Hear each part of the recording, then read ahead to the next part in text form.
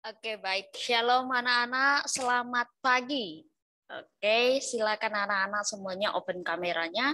Kita akan memulai morning devotion kita pada hari ini. Oke, yang bisa open kamera silahkan open kamera. Tetapi kalau memang bermasalah, oke ya, bermasalah silakan off kameranya. Dan chat ke Mistiur ya, kalau kamera Anda bermasalah. Yuk, silakan anak-anak open kameranya yang bisa open kamera. Sudah? Oke. Oke. Dina, terima kasih sudah merespon lebih cepat ya. Oke, J juga. Yang lainnya silakan anak-anak open kameranya. Kalau tidak bermasalah silakan di open. Kalau bermasalah silakan chat ke Mistio. Oke, baik. Abigail sudah memberikan chat ke Miss. Oke, baik. Oke, anak-anak kita akan mulai morning devotion kita pada pagi hari ini, tanggal 3 September 2021. Yang bertugas hari ini pemimpin pujian ada Andrea Caroline. Ada? Andrea? Oke, bersedia. Terima kasih. Lalu pembawa doa adalah Faitli Hindar Hindrarto. Oke, ada? Faitli? Faitli ada? Mana Faitli? Ada ya atau tidak ya? Ada? Oke, baik. Karena tidak ada, apakah ada yang bersedia menggantikan? Bianca Angelica bisa menggantikan?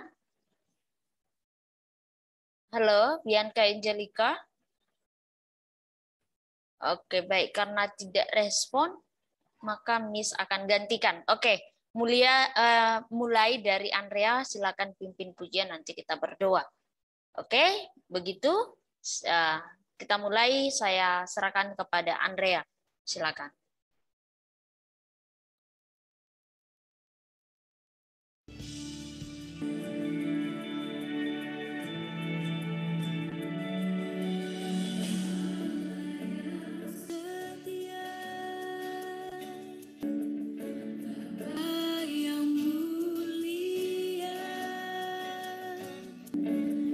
Tuhan Yesus, jadi kami sudah uh, memuji nama Tuhan. Sebentar lagi kalau menunjukkan renungan, berkati kami dan menuntut kami berdoa dalam Yesus. Haleluya. Amin. Amin. Baik, terima kasih anak-anak yang sudah memberikan hatinya untuk pelayanan kepada Tuhan. Ini adalah bentuk sederhana Anda melayani Tuhan.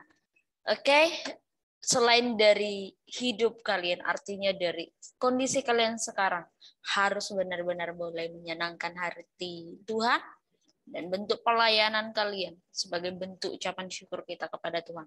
Tuhan katakan begini. Pelayananmu tidak akan pernah mengubah cintanya Tuhan kepada kamu. Karena apa? Saat kamu tidak melayani pun, cinta Tuhan sudah sempurna. Amin. Jadi kita percaya pelayanan kita bukan karena menuntut Tuhan untuk mencintai kita, tetapi karena bukti nyata kita mencintai Tuhan. Oke, kita akan sama-sama sharing firman Tuhan. Hari ini Miss ambil dari Miss share dulu ya.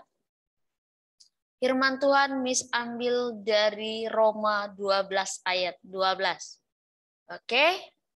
Dari Roma 12 ayat ke-12.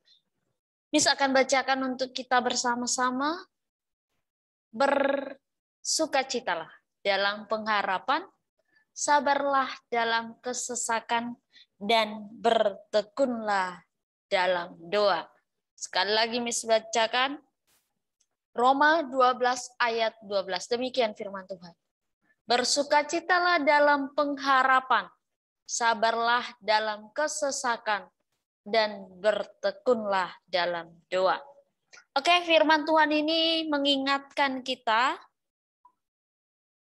arti sebuah bersyukur. Jadi tema yang bisa Miss angkat indah pada waktunya. Jadi temanya adalah indah pada waktunya. Anak-anak pada saat ini kesabaran menjadi suatu hal yang sangat berat. Oke? Kesabaran menjadi suatu hal yang sangat berat bagi umat manusia. Kenapa demikian? Hari-hari ini zaman semakin canggih. Rasanya segala yang dulunya sulit atau memerlukan waktu yang cukup panjang hari-hari ini dengan per, dengan adanya teknologi membuat segala sesuatu mudah. Dulu dari Sumatera Utara kalau mau ke Jawa memerlukan waktu satu minggu. Saat ini perkembangan teknologi membuat Sumatera dengan Jawa menjadi lebih dekat. Hanya dengan satu jam saja kita bisa sampai. Contoh Bali. Bali ke mana? Mau ke mana kita? Contohnya Bali ke Jakarta.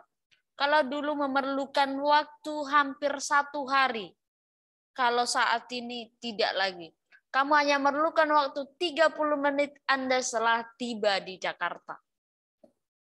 Maka dengan perubahan teknologi tersebut membuat kesabaran orang makin hilang. Artinya apa? Tidak ada lagi yang namanya menanti dan menanti. Kesabaran adalah suatu sifat yang paling sulit ditemukan dan menjadi sesuatu yang paling langka apabila jika seseorang sedang mengalami penderitaan dalam kesesakan. Itu masih perjalanan yang tadi disampaikan. Tetapi kesabaran menjadi lebih sulit jika kondisi kita dalam kondisi sesak, kesesakan, ada sesuatu hal masalah yang datang kepada kita membuat kita tidak mau bersabar, tidak mau menunggu waktunya Tuhan. Banyak orang maunya melakukan segala sesuatu serba cepat, tanpa berpikir panjang dan terburu-buru. Karena itu, pada zaman Roma, seperti yang disampaikan pada ayat 12 ini, firman Tuhan Roma 12 ayat 12, saat eh, Paulus menasehati umat jemaat pada masa itu. Bersukacitalah dalam pengharapan. Ada harapan yang mungkin timbul dalam hati kita. Tapi Tuhan bilang, bersukacita. Apa pun kondisinya, bergembira. Apa yang dimaksud sebenarnya dengan sabar dalam kesesakan?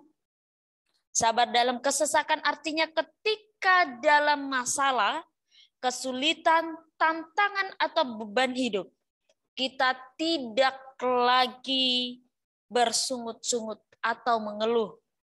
Namun kita selalu memiliki penyerahan diri sepenuhnya kepada Tuhan.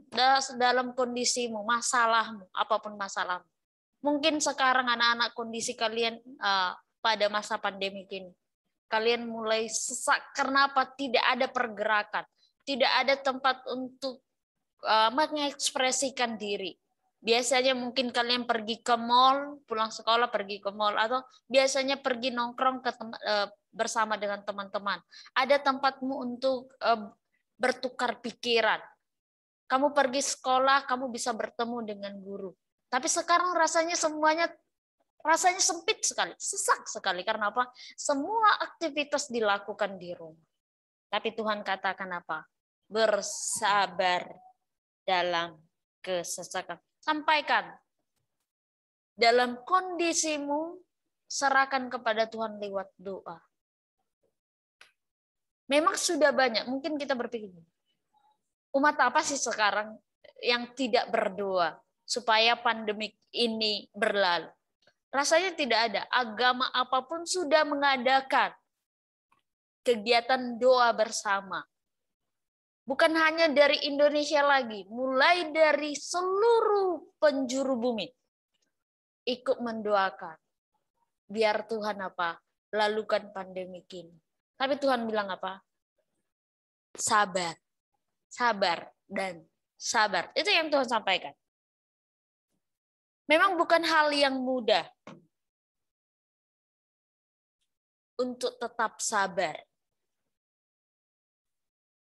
Sabar dalam kesesakan juga berarti kita mau menunggu waktunya Tuhan untuk dinyatakan bagi kita. Jadi kita tidak akan pernah mengambil jalan pintas untuk menuruti kemauan kita sendiri. Mungkin ah sudahlah ya pandemi ini rasanya tidak akan berlalu. Sudahlah, saya keluar saja dan lain sebagainya. Jangan. Tapi tetap berdoa biar waktu Tuhan yang terjadi atas hidup kita.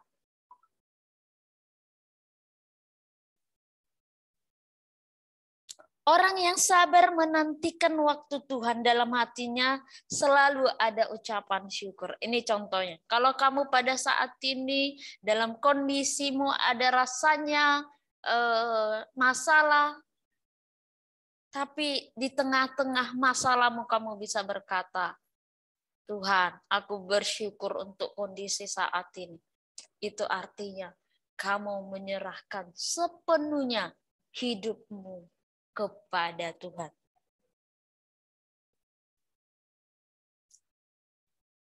Yang ia mengucap syukur bukan untuk penderitaan atau kesesakan yang menimpanya, tapi untuk penyertaan. Kita tahu betul saat kondisi apa pun. Coba kamu eh, anak-anak semua kita bersama-sama. Saat kondisi seburuk apa pun, pasti ada hal baik yang Tuhan sedang nyatakan. Coba kita lihat pandemi COVID-19. Dulu kita melihat ada orang yang dekat dengan kita, sangat dekat. Tapi dengan adanya pandemi ini, dia hilang saja. Itu artinya dia bukan temanmu yang setia. Dari situ Tuhan sedang tunjukkan, ini loh orang-orang yang setia, ini yang enggak. Termasuk dengan kita. Kalau dulu kita masih ibadah ya, ibadah pergi ke gereja. Masih kayak uh, Holy Spirit banget. Merasakan kasih Tuhan banget. Merasakan kehadiran Roh Kudus. Tapi saat pandemi, Tuhan mau uji kesetiaan kita. Tuhan mau lihat seberapa setianya kita kepada Tuhan. Belajarlah selalu mengucap mencukupkan diri dengan berkat-berkat yang ada. Dan tetap bersabar menantikan kuasa Tuhan dinyatakan. Bersabar menanti kuasa Tuhan dinyatakan karena segala sesuatu indah pada waktunya. Oke, kita bersabar sampai Tuhan bilang, ini adalah waktunya saya untuk memberkati anak-anak sekalian memberikan apa pun yang menjadi hal terbaik. Oke ya, hal terbaik untuk kita bersama. Karena begini, rancangan Tuhan terhadap kita bukan rancangan-rancangan kita sendiri. Walaupun kita tidak boleh, eh, sudahlah ya orang Tuhan yang menentukan masa depan kita. Jadi saya tidak usah bercita-cita. Tidak, tetap bercita-cita serahkan cita-citamu kepada Tuhan. Lewat apa? Lewat doa. Berpengharapan penuh kepada Tuhan, biar Tuhan yang tuntun ke mana anak-anak sekalian mau dibawa. Ini adalah masa penentuan anak-anak semua. Baik dan buruknya kalian nanti ke depannya. Artinya berhasil atau tidaknya kamu ke depannya. Ditentukan dari saat ini. Berani melangkah satu langkah. Engkau telah siap dengan keputusan.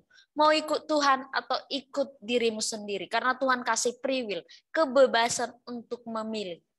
Walaupun Tuhan kasih kebebasan untuk memilih, tetapi pilihan terbaik hanya bersama dengan Tuhan. Kalau kamu lewat dari apa yang Tuhan mau, maka kamu sudah siap menerima dirimu ke depannya adalah manusia yang seperti apa.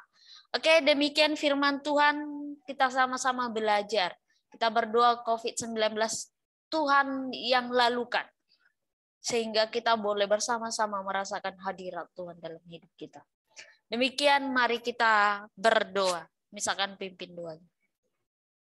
Terima kasih Tuhan, Kau mengingatkan kami untuk bersabar dalam kesesakan, punya sukacita dalam pengharapan dan bertekun di dalam doa. Engkau Allah yang setia, yang memberkati kami dari dulu hingga saat ini. Kami percaya Tuhan, hal terbaik dan tidak ada kata terlambat bagimu. Kami percaya cepat dan tepat. Terima kasih Tuhan untuk firman yang indah yang boleh kami dengar. Ajari kami Tuhan untuk menjadi pelaku-pelaku firman Tuhan. Yang menerapkan firman Tuhan dalam kehidupan kami bersama. Tuhan Yesus hamba berdoa untuk anak-anakmu kelas 8A. Biarlah engkau berkati mereka di masa mudanya Tuhan. Kau berkati engkau yang nuntun mereka sehingga mereka tidak menyimpang ke kiri dan ke kanan. Kau yang memberkati masa depan mereka adalah masa depan yang cemerlang bersama dengan Tuhan. Masa depan yang berpengharapan kepada Tuhan. Kami percaya engkau jadikan mereka kepala bukan ekor. Tuhan bawa mereka terus naik hingga mereka tidak pernah turun Tuhan. Terima kasih kami akan memulai pembelajaran untuk hari ini.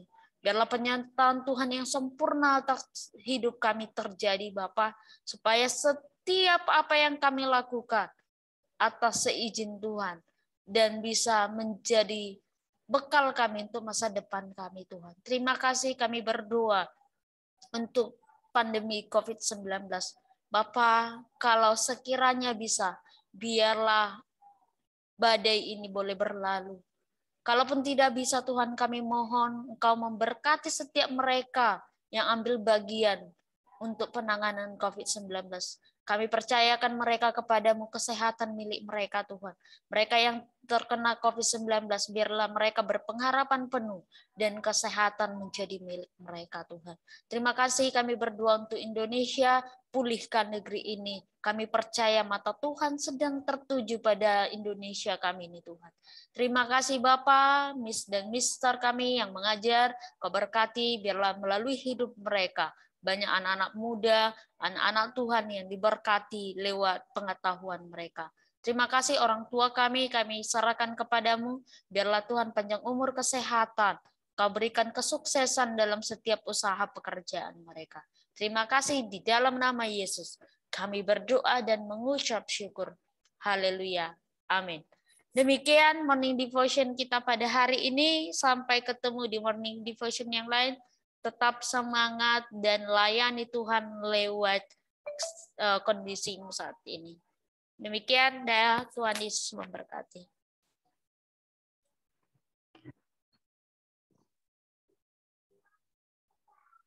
Oke, Shalom anak-anak kelas 8A. Selamat pagi semuanya. Bisa dengar suara Miss? Ya, Silahkan open kamera ya anak-anak.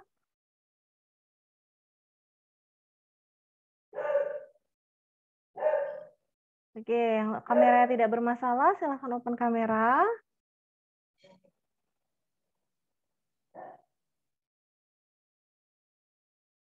Tiara.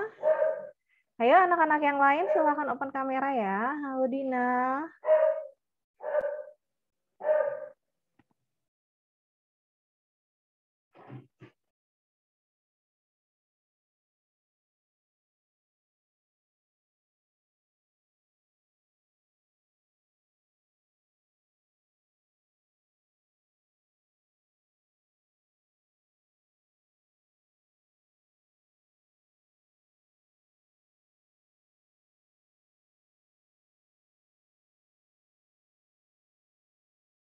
Respon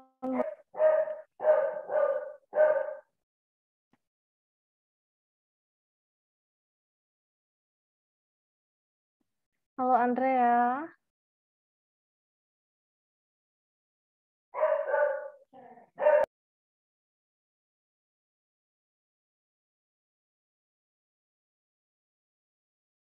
Yang lain silahkan berikan respon. Baru ada 17 anak ya. Oke, Jessica. Halo Fedli. Dena, Jai, Bianca Violet, Shalom, Quina, berikan respon Muna. Ya, oke. Okay. Thank you. Baik, masih ada tiga orang yang belum join ya. Ino, Noah, satu lagi. Jessica, oke. Okay. Oke, okay, Jessica. Yang lain gimana? Apakah suaranya Miss terdengar dengan jelas atau putus-putus? Apakah bisa terdengar dengan jelas? Oke, okay, thank you. Baik, anak-anak, kita akan segera mulai kelas matematikanya. Uh, sebelumnya kita berdoa dulu. Boleh, Miss minta yang nomor absen 3, Andrea. Andrea Karolin ya, untuk pimpin doa.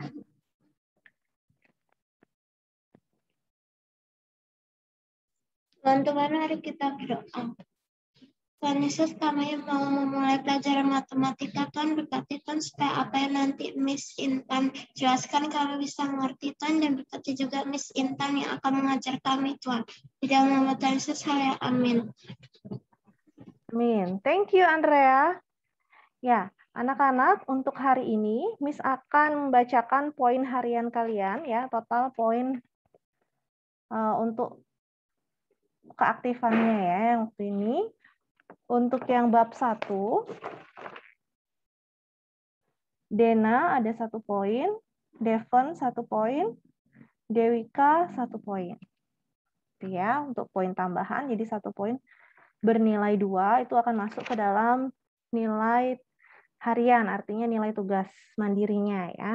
Jadi ini dapat poin tambahan. Kemudian untuk yang bab 2, yaitu bab relasi dan fungsi, Jessica 1 poin, Tiara 5 poin, Andrea 2 poin, kemudian Bianca Angelica 2 poin, Bianca Rona 3 poin, Dena 2 poin, Dina Yunita 6 poin, Devon 1 poin, Febly 1 poin, Jai 2 poin, Quina 2 poin. Nah, itu untuk poin tambahan. Jadi, bisa harap ke depannya yang lain lebih aktif lagi dalam menjawab, memberikan pendapat ya dalam kelas matematika. Oke, kemudian eh, yang kedua mengenai penilaian harian yang kemarin gimana? Apa ada soal yang ingin ditanyakan? Anak-anak? Mengenai penilaian hariannya? Apa ada yang ditanyakan? Atau soal yang menurut kalian kok sepertinya saya benar tapi disalahin ya. Nah, untuk yang penilaian harian yang soal isian itu Miss input kunci jawabannya hanya berupa hasil akhirnya saja.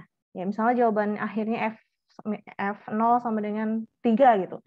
Jadi cukup ketik jawaban di situ 3, angka 3 saja gitu. Jadi kalau kamu nulisnya F dalam kurung 3 sama dengan eh, F dalam kurung 1 sama dengan 3 itu di, disalahkan sama sistemnya gitu ya.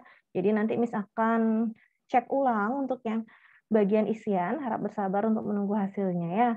Untuk remedinya nanti bisa diundur sampai hari Senin ya. Hari Senin baru kalian ambil remedi. Bagi yang sudah terlanjur mengerjakan remedi tidak apa-apa, nanti tetap mis hitung. Ya, hitung sebagai remedi.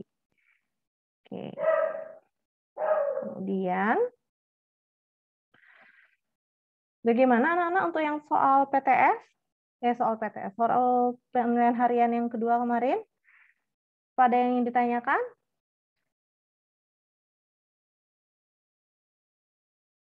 Tidak ada? Jelas dengan semua soalnya?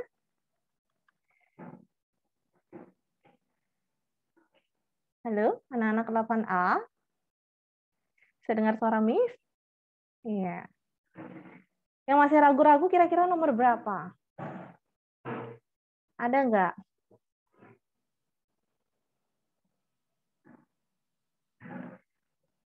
Yang masih ragu-ragu.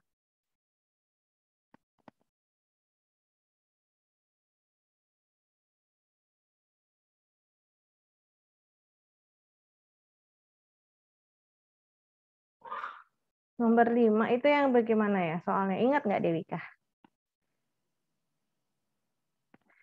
Yang kata-kata, karena ini kan soalnya acak ya untuk setiap anak.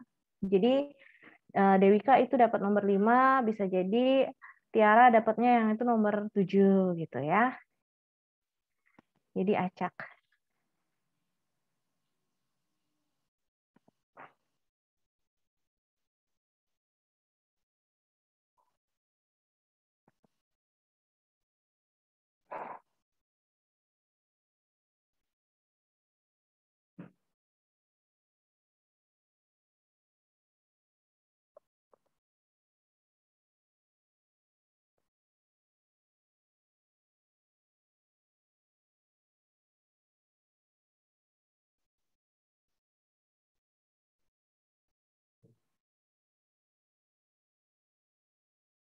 Oke.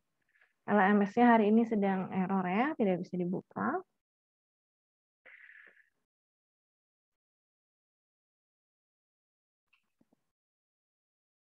Yang nomor 5 itu kira-kira yang mana? Yang gambar grafik. Yang gambar grafik bukan.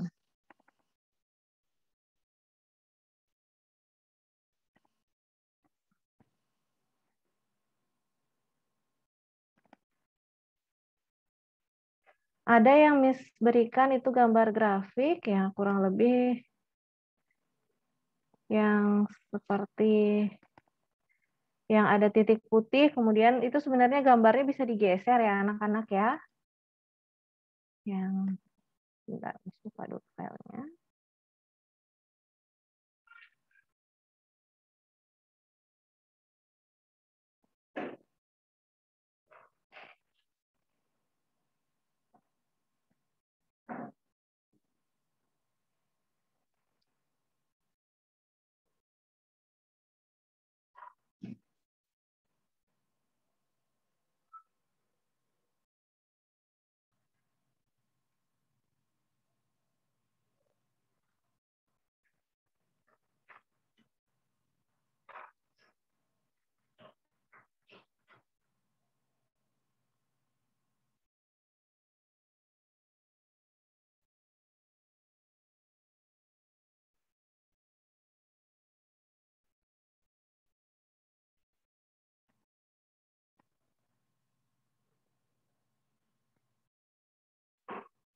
Dari gambar grafik yang pernah Miss berikan waktu pembelajaran ya yang contoh soal di PowerPoint masih ingat tidak? Yang ini. Nah, Miss tampilkan di soal penilaian harian kemarin. Yang bukan merupakan daerah asal, tapi Miss tanyanya. Yang mana yang bukan daerah asal? Bisa terlihat slide-nya?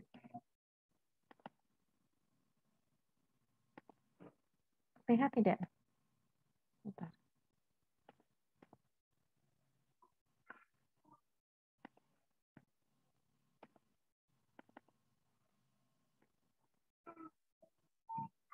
Nah, coba perhatikan anak-anak grafik ini.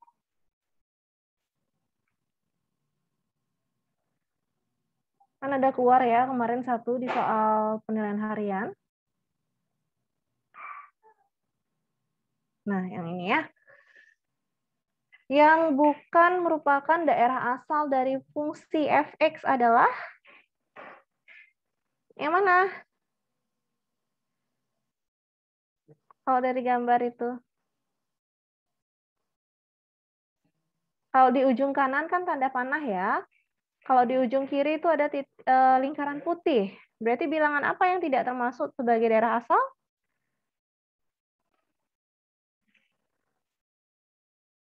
Miss mau tanya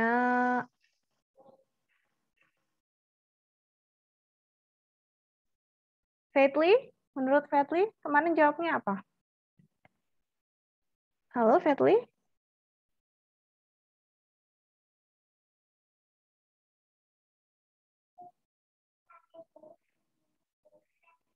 Cek, Faithly, bisa dengar suara Miss?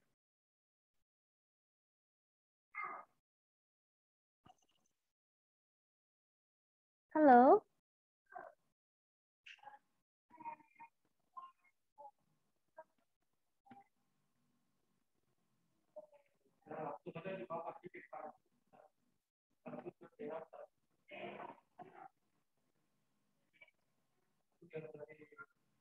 Fredly? Halo?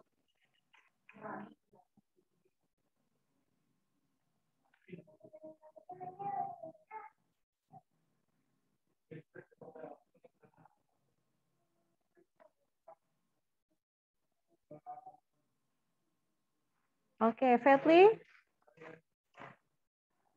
Fetli. Ini suara Miss terdengar atau tidak ya, anak-anak?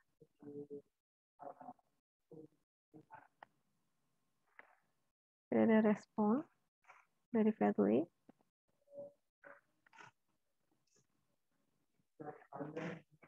Coba Dena deh, Dena. Oh iya, Miss. Uh, Dena, kemarin jawabnya apa, Den? Deh. Untuk yang ini, daerah yang bukan daerah asal, yang mana? Bilangan satu. Ya, bilangan satu. Kalau dari yang batas gambar grafiknya ya, tapi sesungguhnya ini sebenarnya X kurang dari sama dengan satu. Itu bukan ada bukanlah daerah asal. Ya tulis luruskan sedikit di situ. Tapi yang jawab bilangan satu benar ya. Kalau jawab negatif satu, nol, satu, ya termasuk juga bukan ya kalau dari gambar. Ya, nanti misalkan cek ulang untuk jawaban kalian yang bagian ini ya. Kemudian, ya, Sean silahkan. Ada lagi soal yang menurut kalian sulit untuk yang penilaian harian dua kemarin? Apakah ada yang masih ingat soalnya atau sudah menjadi masa lalu?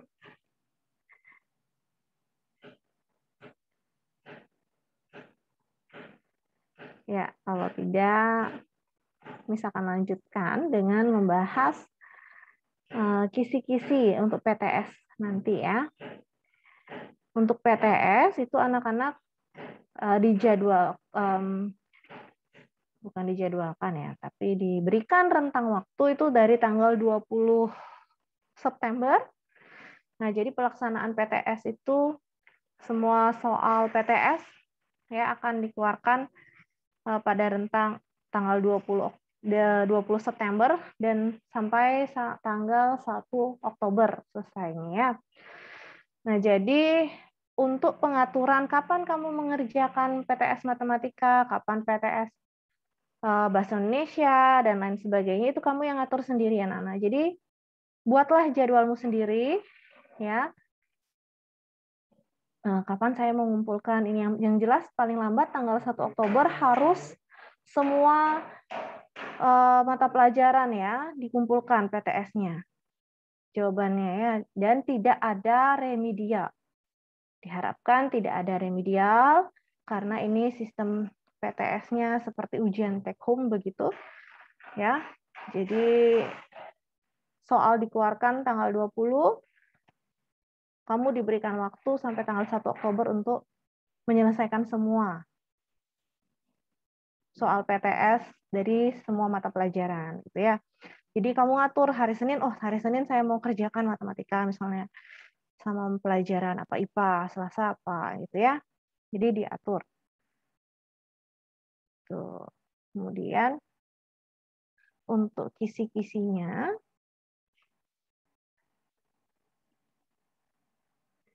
materi PTS matematika nanti adalah bab 1 dan bab Dua, ya pola bilangan dan juga relasi dan fungsi. Nah, anak-anak untuk PTS Matematika bukan lagi pilihan ganda atau isian singkat, tetapi esai nanti ya, soal cerita.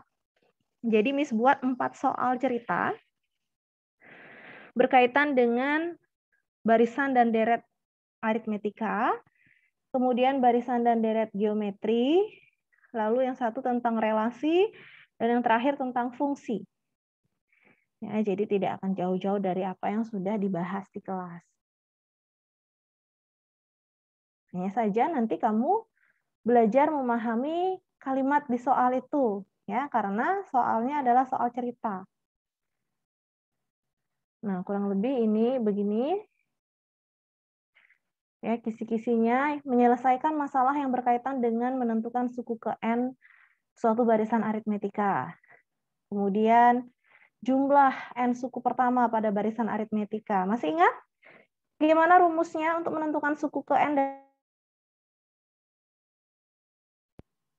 Coba Miss tanya. Devon. Devon masih ingat rumusnya, Devon? Halo? Devon, bisa dengar suara Miss? Ya. Gimana rumus menentukan suku ke N dari suatu barisan aritmetika, Devon?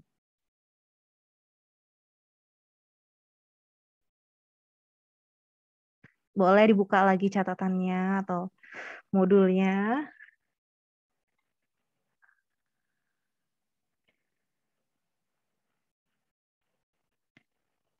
UN yang itu itu. Ayo, ingat enggak?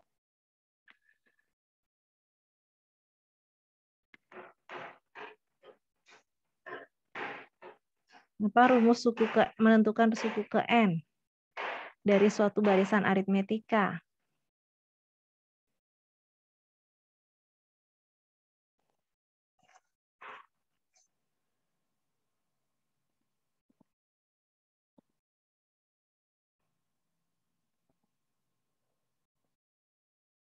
Kalau misalnya suaranya Miss tidak terdengar dengan jelas, sampaikan di kolom chat ya anak-anak. Apakah putus-putus atau bagaimana, atau terlalu kecil suaranya, tolong disampaikan ya.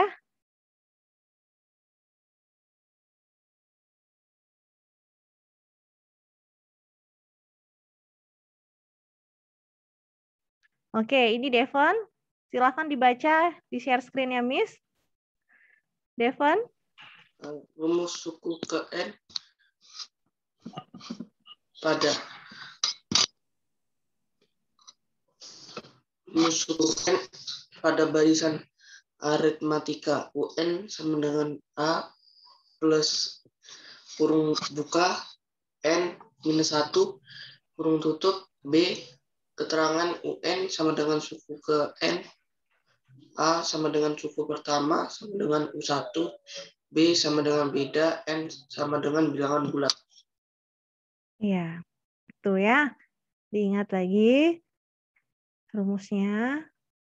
Nah, sekarang aplikasinya ke soal cerita itu seperti apa? Nah, kalian bisa lihat di latihan soal bagian esai. Nah, di bagian esai sudah cantumkan empat soal cerita.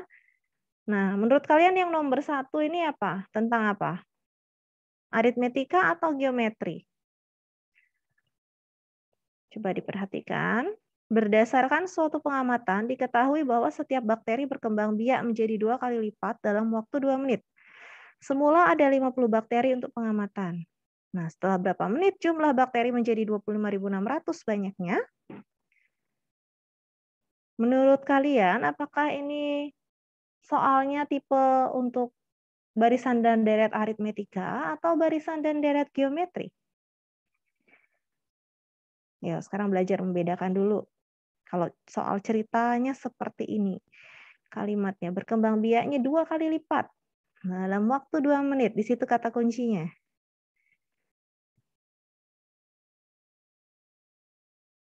Ini ya.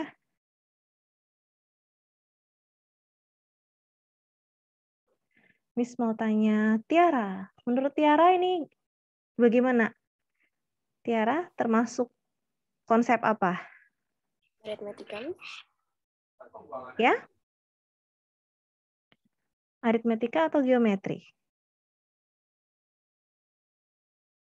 Ayo dipikirkan lagi. Kalau aritmetika kan penambahannya bilangan tetap ya. Kalau geometri perbandingannya tetap. Coba dipikirkan lagi. Aritmetika atau bukan gitu deh. Ini barisan dan deret aritmetika atau bukan?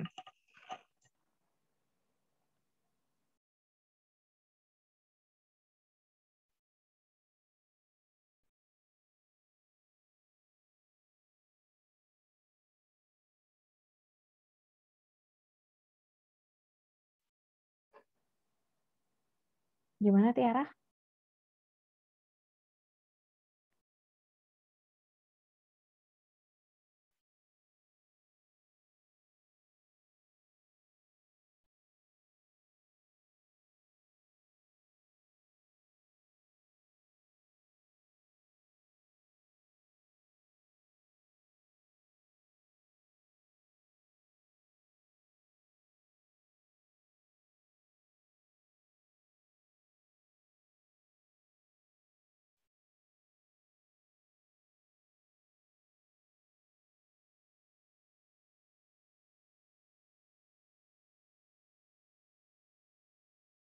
Aritmetika. Oh, Oke, okay. baik. Untuk yang lain, Miss minta pendapatnya lagi. Uh, Stephen. Halo Stephen. Stephen Daniel. Dengar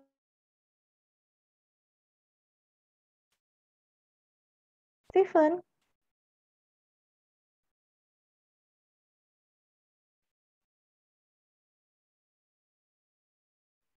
Kalau bisa setidaknya kamu bilang di kolom chat ya, atau langsung unmute.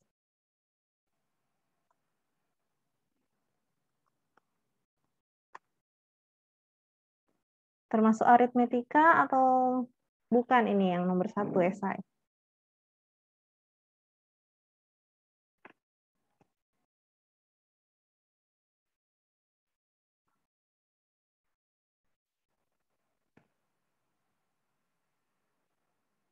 Stephen, halo.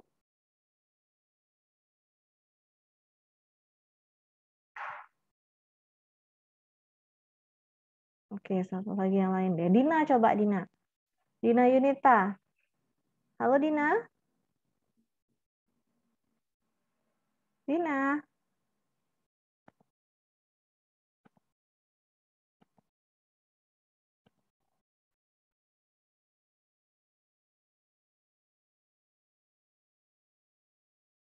Menurut Dina, ya. Menurut Dina nomor satu ini apa? Termasuk konsep nanti kita bawa untuk menyelesaikan soal nomor satu, kita gunakan konsep barisan dan deret aritmetika atau geometri atau tidak keduanya?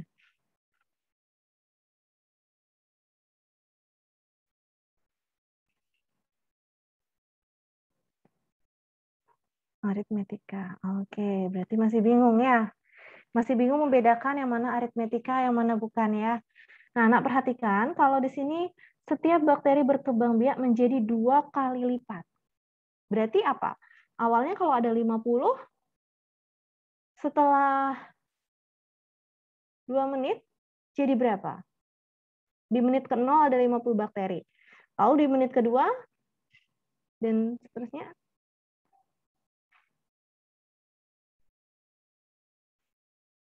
ditambah dua atau dikalikan dua ini? Coba pikirkan itu ya. Nah, kalau di sini dibilang dua kali lipat, berarti yang pada pengamatan menit ke-0 itu ada 50 bakteri, lalu menit kedua ada 52 atau 100 bakteri. Nah, itu dipikirkan. Kalau kali dua, berarti dia geometri, ya, bukan aritmetika. Kalau aritmetika, nah kita lihat yang nomor dua. Dalam aula terdapat 20 kursi pada barisan pertama. Setiap baris berikutnya bertambah dua kursi di depannya. Nah, coba pikirkan nomor dua.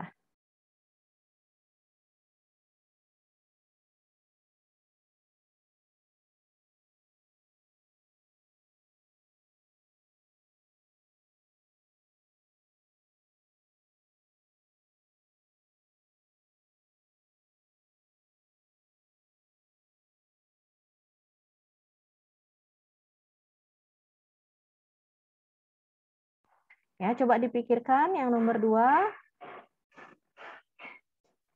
Kalau bertambah tiga kursi dari kursi di depannya, berarti dia aritmetika atau geometri. Ya, sebentar ya, Miss izin ambil minum dulu.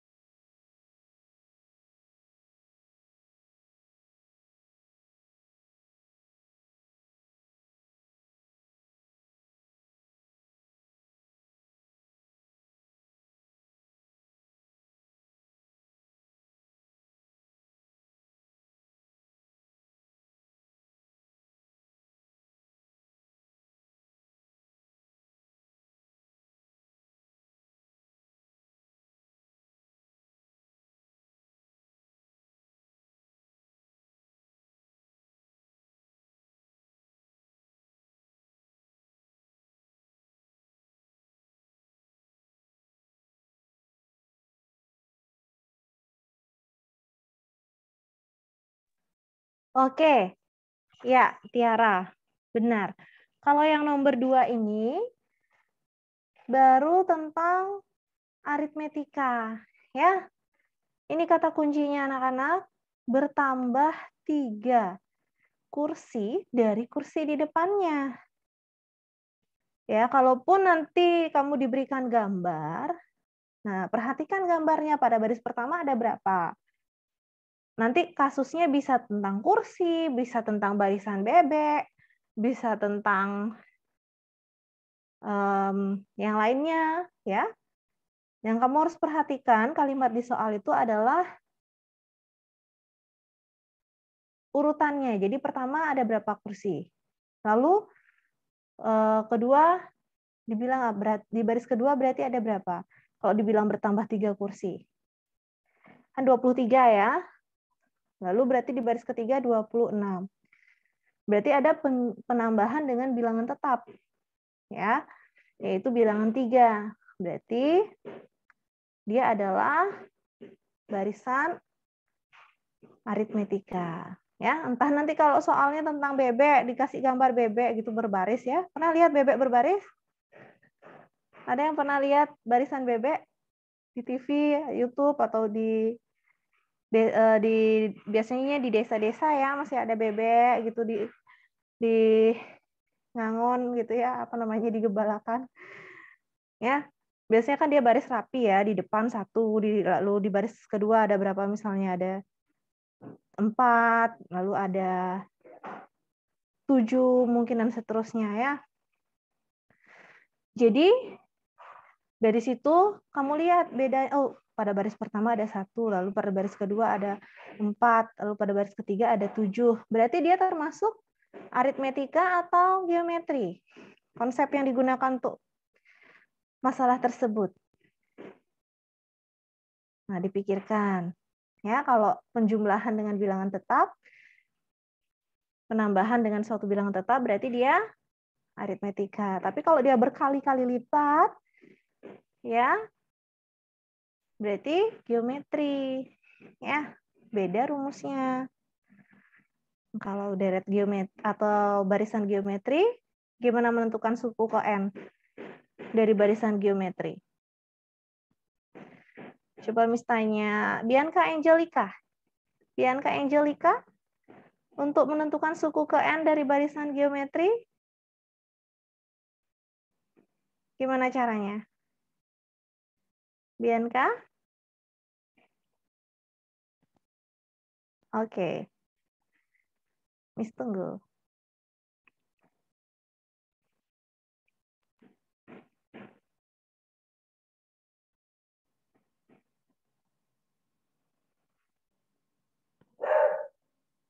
Kalau bisa unmute ya, ya anak-anak ya.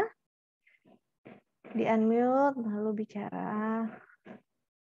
Supaya tidak sepi di sini Miss sendiri yang bersuara di sini. Kalian juga berhak bersuara.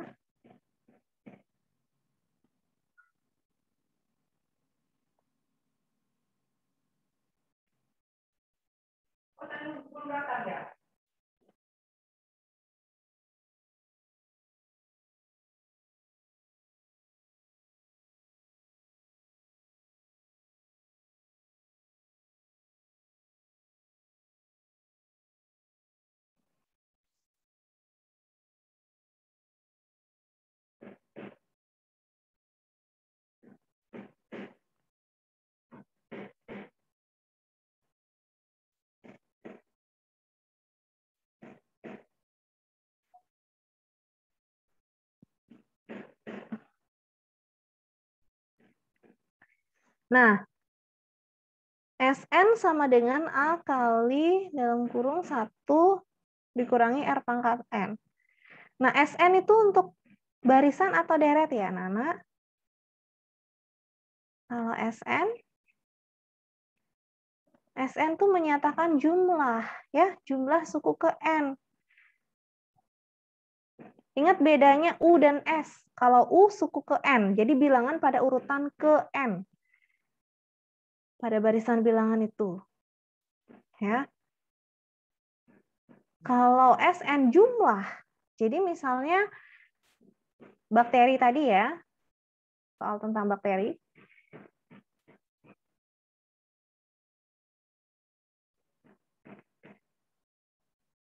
Mana dia? Nah, soal tentang bakteri tadi semula ada 50 bakteri. Terus dalam pada menit ke-10 itu berarti ada berapa bakteri? Nah, kalau pada menit ke-10, nah kalau pada menit ke-10 itu berarti UN. Iya, Bianca Angel.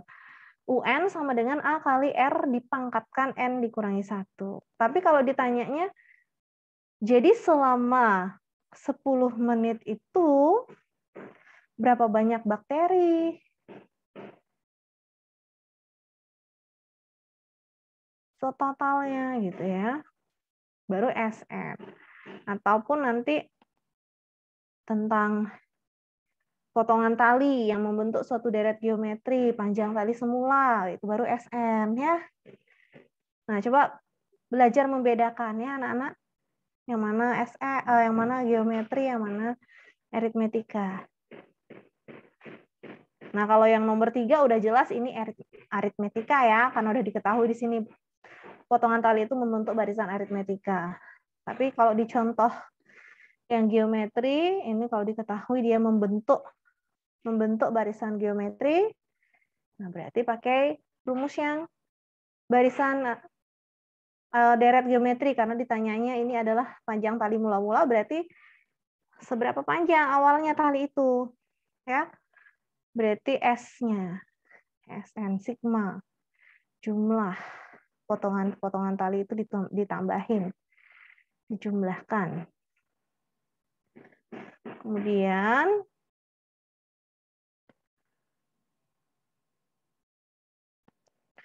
Nah, itu untuk barisan dan deret aritmetika ya.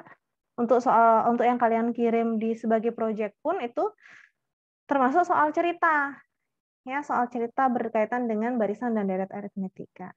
Hanya saja temanya beda-beda ya, ada yang tentang potongan tali, ada yang tentang kursi, ada yang mungkin barisan hewan, ya. Tuh. Oke, itu berkaitan dengan bab 1 untuk kisi-kisi PTS. Kemudian untuk bab 2-nya itu satu soal tentang relasi, satu soal tentang fungsi. Jadi nanti bisa aja nomor 4 itu ada ada dua pertanyaan, pertanyaan A dan pertanyaan B, ya. Nah. Nomor satu juga ada dua pertanyaan, ada pertanyaan A dan pertanyaan B.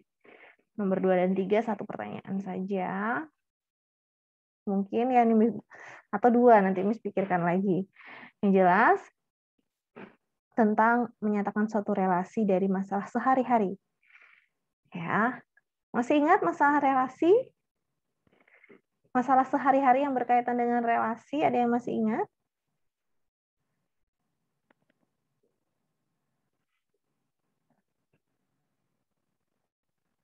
tentang apa ya? Makanan kesukaan atau tentang memesan makanan di restoran ya.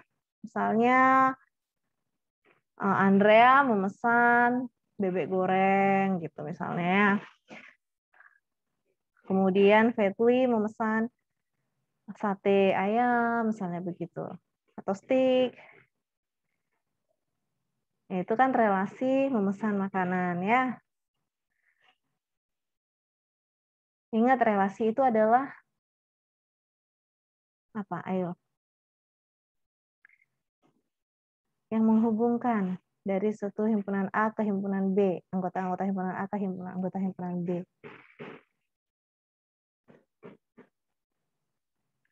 Bisa dilihat di buku paket juga ada contohnya ya, mengrelasi Nah, coba lihat di soal latihan soalnya. Ini buku paket. Tentang relasi.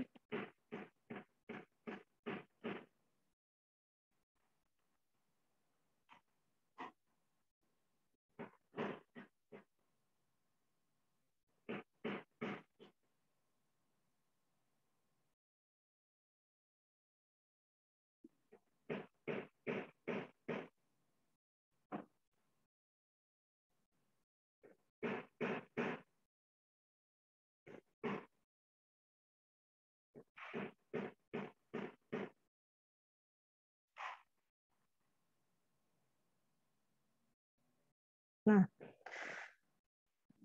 sini misalkan tampilkan buku paketnya. Nah, bagian esai ya, soal bagian esai di buku paket halaman 131 itu banyak soal nih contohnya di sini relasi anak ya. Ayah dari. Nah, ini sudah diketahui relasinya ayah dari. Kamu disuruh menyatakan dalam diagram panah. Kemudian apakah relasi ayah dari itu merupakan fungsi? Nah, itu contoh-contoh soal cerita tentang fungsi eh tentang relasi selain yang ada di PowerPoint-nya Miss ya. Nah, tiga anak, dua anak. Pak Rudi punya seorang anak. Kalau anak dari, apakah Nah, coba dipikirkan anak-anak, kalau misalnya buat relasi ayah dari, dari himpunan A ke himpunan B. Himpunan A itu nama bapak-bapaknya ya, Pak Mahir, Pak Ridwan, Pak Rudi. Lalu himpunan B itu adalah Budi, Ani, Anton, Alex, dan Rini. Eh, dan Suci satu lagi. Nah, kalau kita buat relasi ayah dari, berarti gimana? Apakah kalimatnya. Kalimat pertama. Pak Mahir, ayah dari siapa saja? Coba misalnya Christian. Halo Christian. Christian? Halo, Christian. Christian bisa dengar suara kan? Open audionya.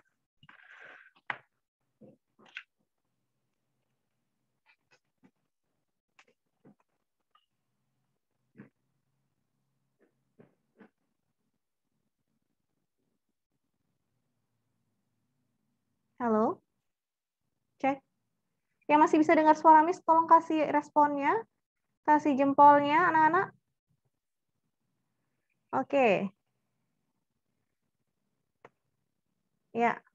Ini yang tidak kasih respon, Miss anggap nggak hadir aja ya.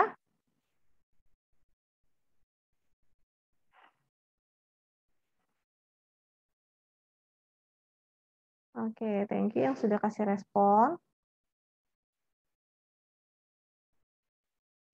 Ya, Estan. Nah, Christian mana nih, Christian? Coba Estan bantu Christian, Estan. Memahami soal nomor tiga. Nah, ini contoh soal relasi dan fungsi ya. Coba. Apakah relasi ayah dari itu merupakan fungsi atau relasi biasa ya? Coba Eston dibaca anak soalnya. Bisa audionya Eston? Oke. Okay. Ya. Kami dan Ambang.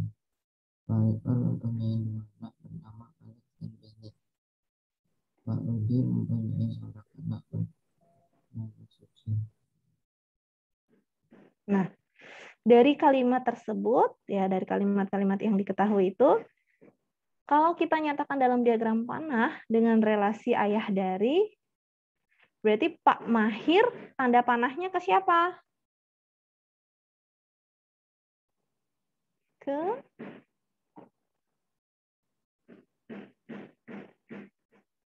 Pak Mahir.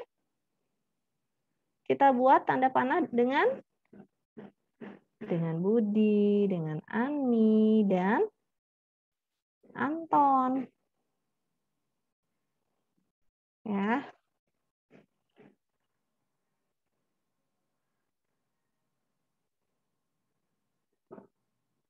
Lalu kalau Pak Ridwan, tanda panahnya, kan kita buat diagram panah ya, berarti ada tanda panah ya. Menuju ke Alex dan Rini. Nah, jadi satu anggota A bisa memilih dua atau tiga anggota di B. Berarti dia relasi atau fungsi. Estan, coba berikan pendapatmu, Estan. Ini kalau Pak Rudi cuma memilih satu ya, yaitu Suci. Karena dia memang hanya ayah dari Suci ya, dari yang diketahui.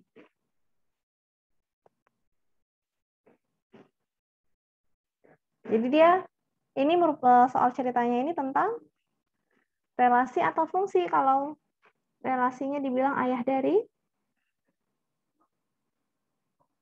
Halo? Estan? Masih dipikirkan? Silahkan dipikirkan.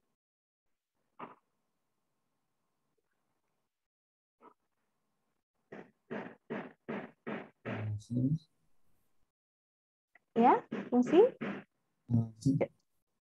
Relasi. Ya relasi ya karena satu anggota A karena apa alasannya? Estan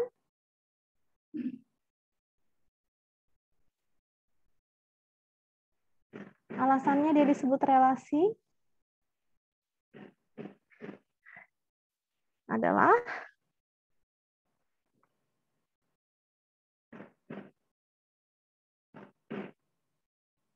Coba diorat-orat ya, digambar diagram panahnya. Nah, dia anggota A kan Pak Mahir, Pak Ridwan, dan Pak Rudi. Lalu anggota B berarti Budi, Ani, Anton, Alex, Rini, dan Suci. Ada enam ya. Kalau ayah dari berarti kan dari himpunan nama ayah ke himpunan nama anak. Panahnya. Ya, Pak Mahir adalah ayah dari tanda panah ke Budi. Ani, Anton. Berarti kan dia tiga cabangnya ya, tanda panahnya. Kemudian kalau Ridwan, dua. Ke Alex dan Rini. Kalau eh, Pak Ridi, satu saja. Ya, karena anggota A bisa memilih lebih dari satu anggota di B, berarti dia adalah re relasi. Nah, kalau dibalik, ayah anak dari relasinya. Berarti Budi adalah anak dari Pak Mahir. Mungkin nggak Budi itu adalah anak dari Pak Ridwan? Kita buat tanda panahnya. Sesuai yang diketahui di soal, tidak. Ya, salah. Budi itu bukan anaknya Pak Ridwan. Budi itu anaknya Pak Mahir. Gitu ya. Ani memilih Pak Mahir juga. Anton memilih Pak Mahir juga. Ya, berarti satu anggota A memilih satu anggota di B. Meskipun si B dipilih oleh lebih dari satu. Yang penting si A ini milih satu saja. Anggota A memilih satu saja anggota di B. Itu baru namanya fung fungsi. Kalau relasinya anak dari dia merupakan fungsi. Itu ya. Coba belajar membedakan. Jadi kamu diagram panahnya dulu buat. Lalu lihat cabangnya. Satu anggota memilih satu atau bisa lebih dari satu. Kalau dia hanya memilih satu, berarti fungsi. Kalau bisa lebih dari satu anggota A memilih di B, berarti dia relasi ya. Fungsi itu adalah relasi khusus yang memasangkan satu anggota A yang memasangkan anggota A dengan tepat satu anggota di B. Kalau fungsi korespondensi satu-satu, si B-nya juga dipilih oleh satu. Itu tambahannya. Oke, itu tentang relasi. Ya, sedikit lagi Miss akan bahas tentang project.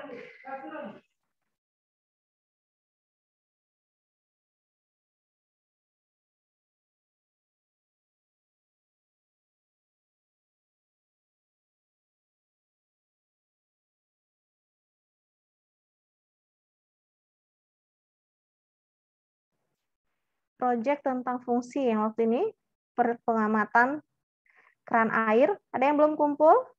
sampai saat ini?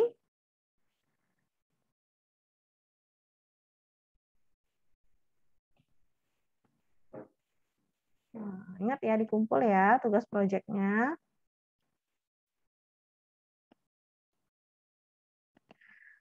Nah, tugas proyek yang kemarin itu ini ya. Nah, kalian mau air pada waktu tertentu. Nah, gimana ini?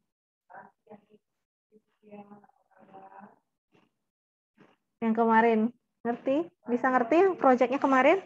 Tergantung kamu buka kerannya berapa ya tetesan airnya. Nah, misalnya Miss dapatnya gini ya.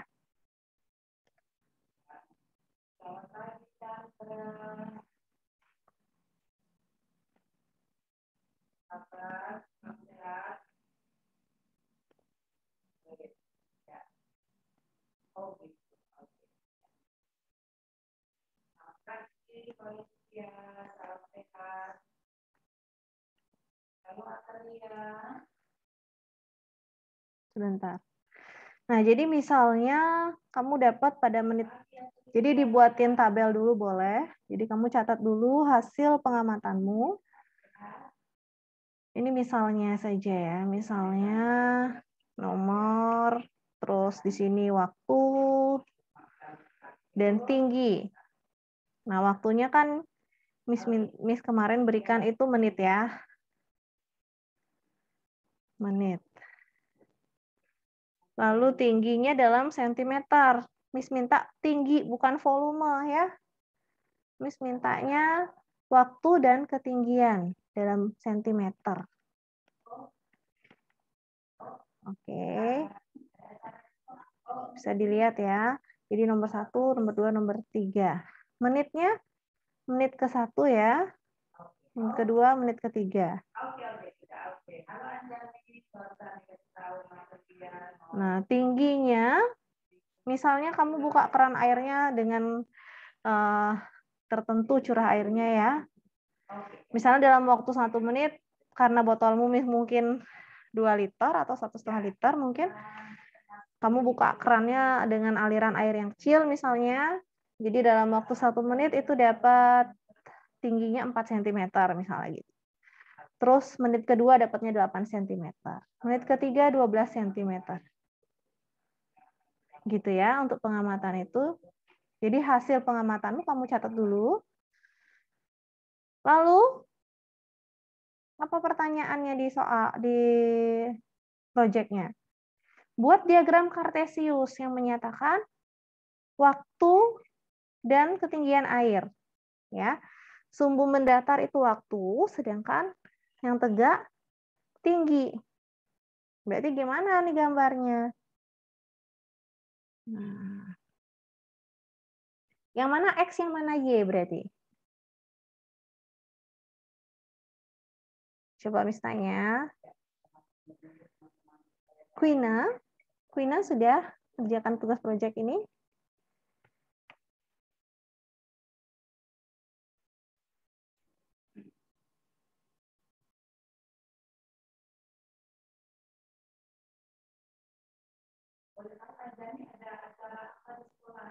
Ya, Quina sudah kerjakan tugas proyeknya.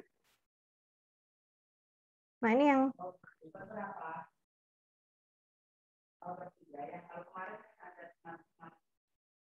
Ya, ini sedang membahas tugas proyeknya ya. Jadi dicatat dulu tinggi yang diperoleh ya, kamu ukur kan ya, tinggi gelasnya, tinggi air yang di dalam wadah. Lalu akan digambarkan ke dalam diagram kartesius. Gimana caranya? Yang mana X, yang mana Y? Waktu itu X, ini tingginya Y ya. Jadi nanti F1 sebentar.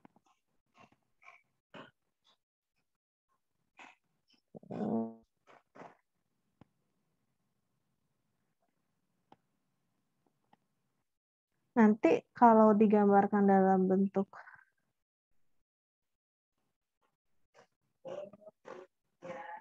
X, Y ya membentuk diagram kartesius.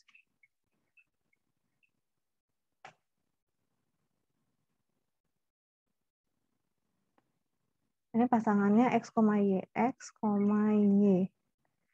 Ya gimana? Jadi ini 1,4. Waktu itu menjadi komponen X, lalu tinggi menjadi komponen Y ya. 2,8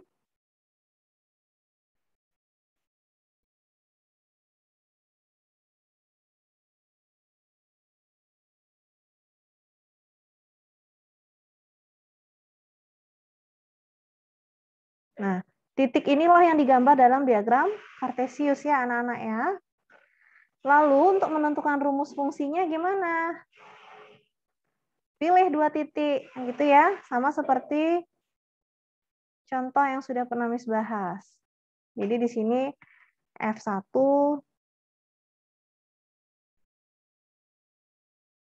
sama dengan 4 buat rumus fungsi uh, ininya masukkan ke bentuk umum fungsi fx sama dengan ax plus b.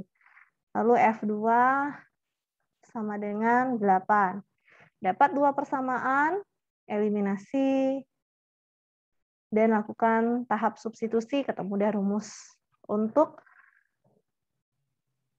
waktu dan tinggi dari hasil pengamatanmu. Ya, silahkan J. Ya, itu ya. Nah, jadi itu kurang lebih untuk kisi-kisi PTS-nya. Nah, ini ingat lagi cara yang contoh 4 ini ya.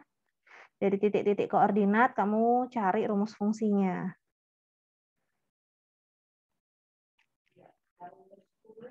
Oke. Itu.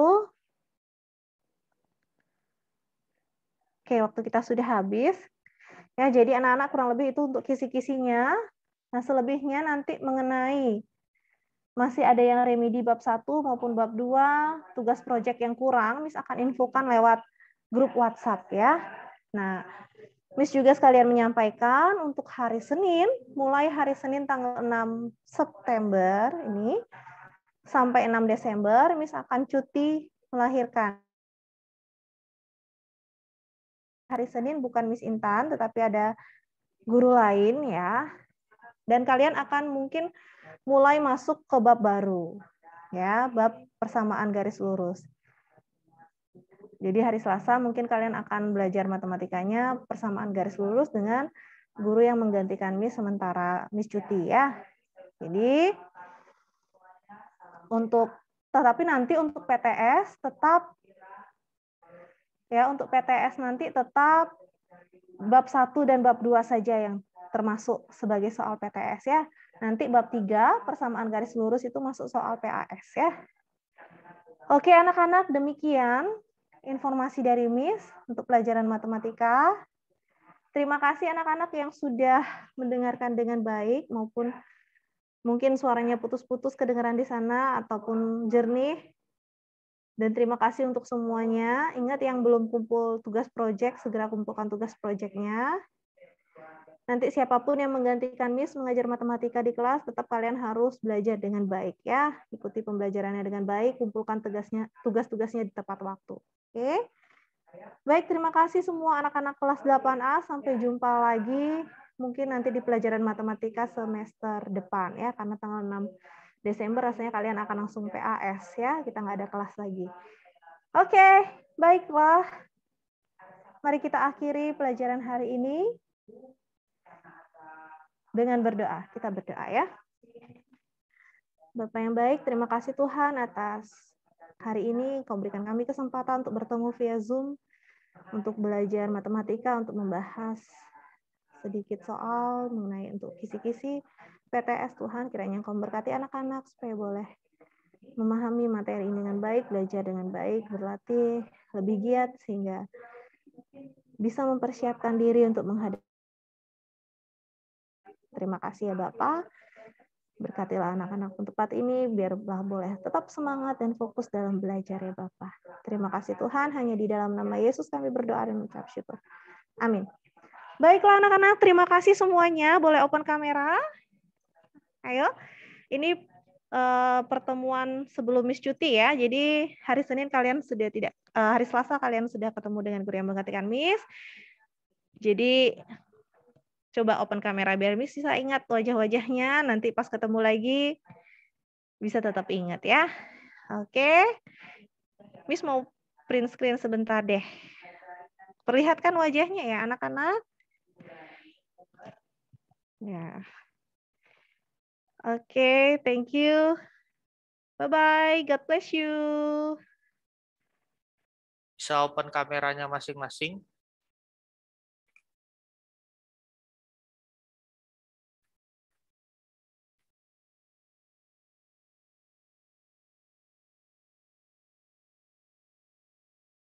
Yuk, yang lainnya. Baru satu orang saja yang merespon.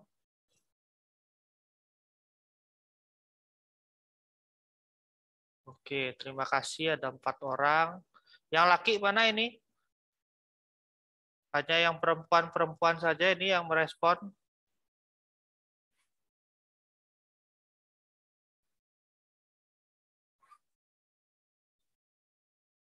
Oke, terima kasih sudah bertambah.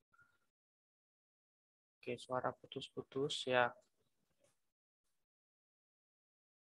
Oke, kita sebelum mulai kita berdoa terlebih dahulu. Mister bisa minta tolong Sheba untuk berdoa.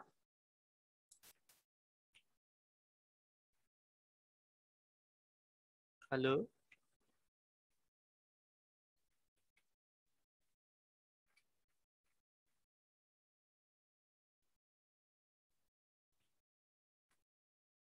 Oke, tidak ada respon. Ya, Mister bisa minta tolong Dena ya untuk berdoa.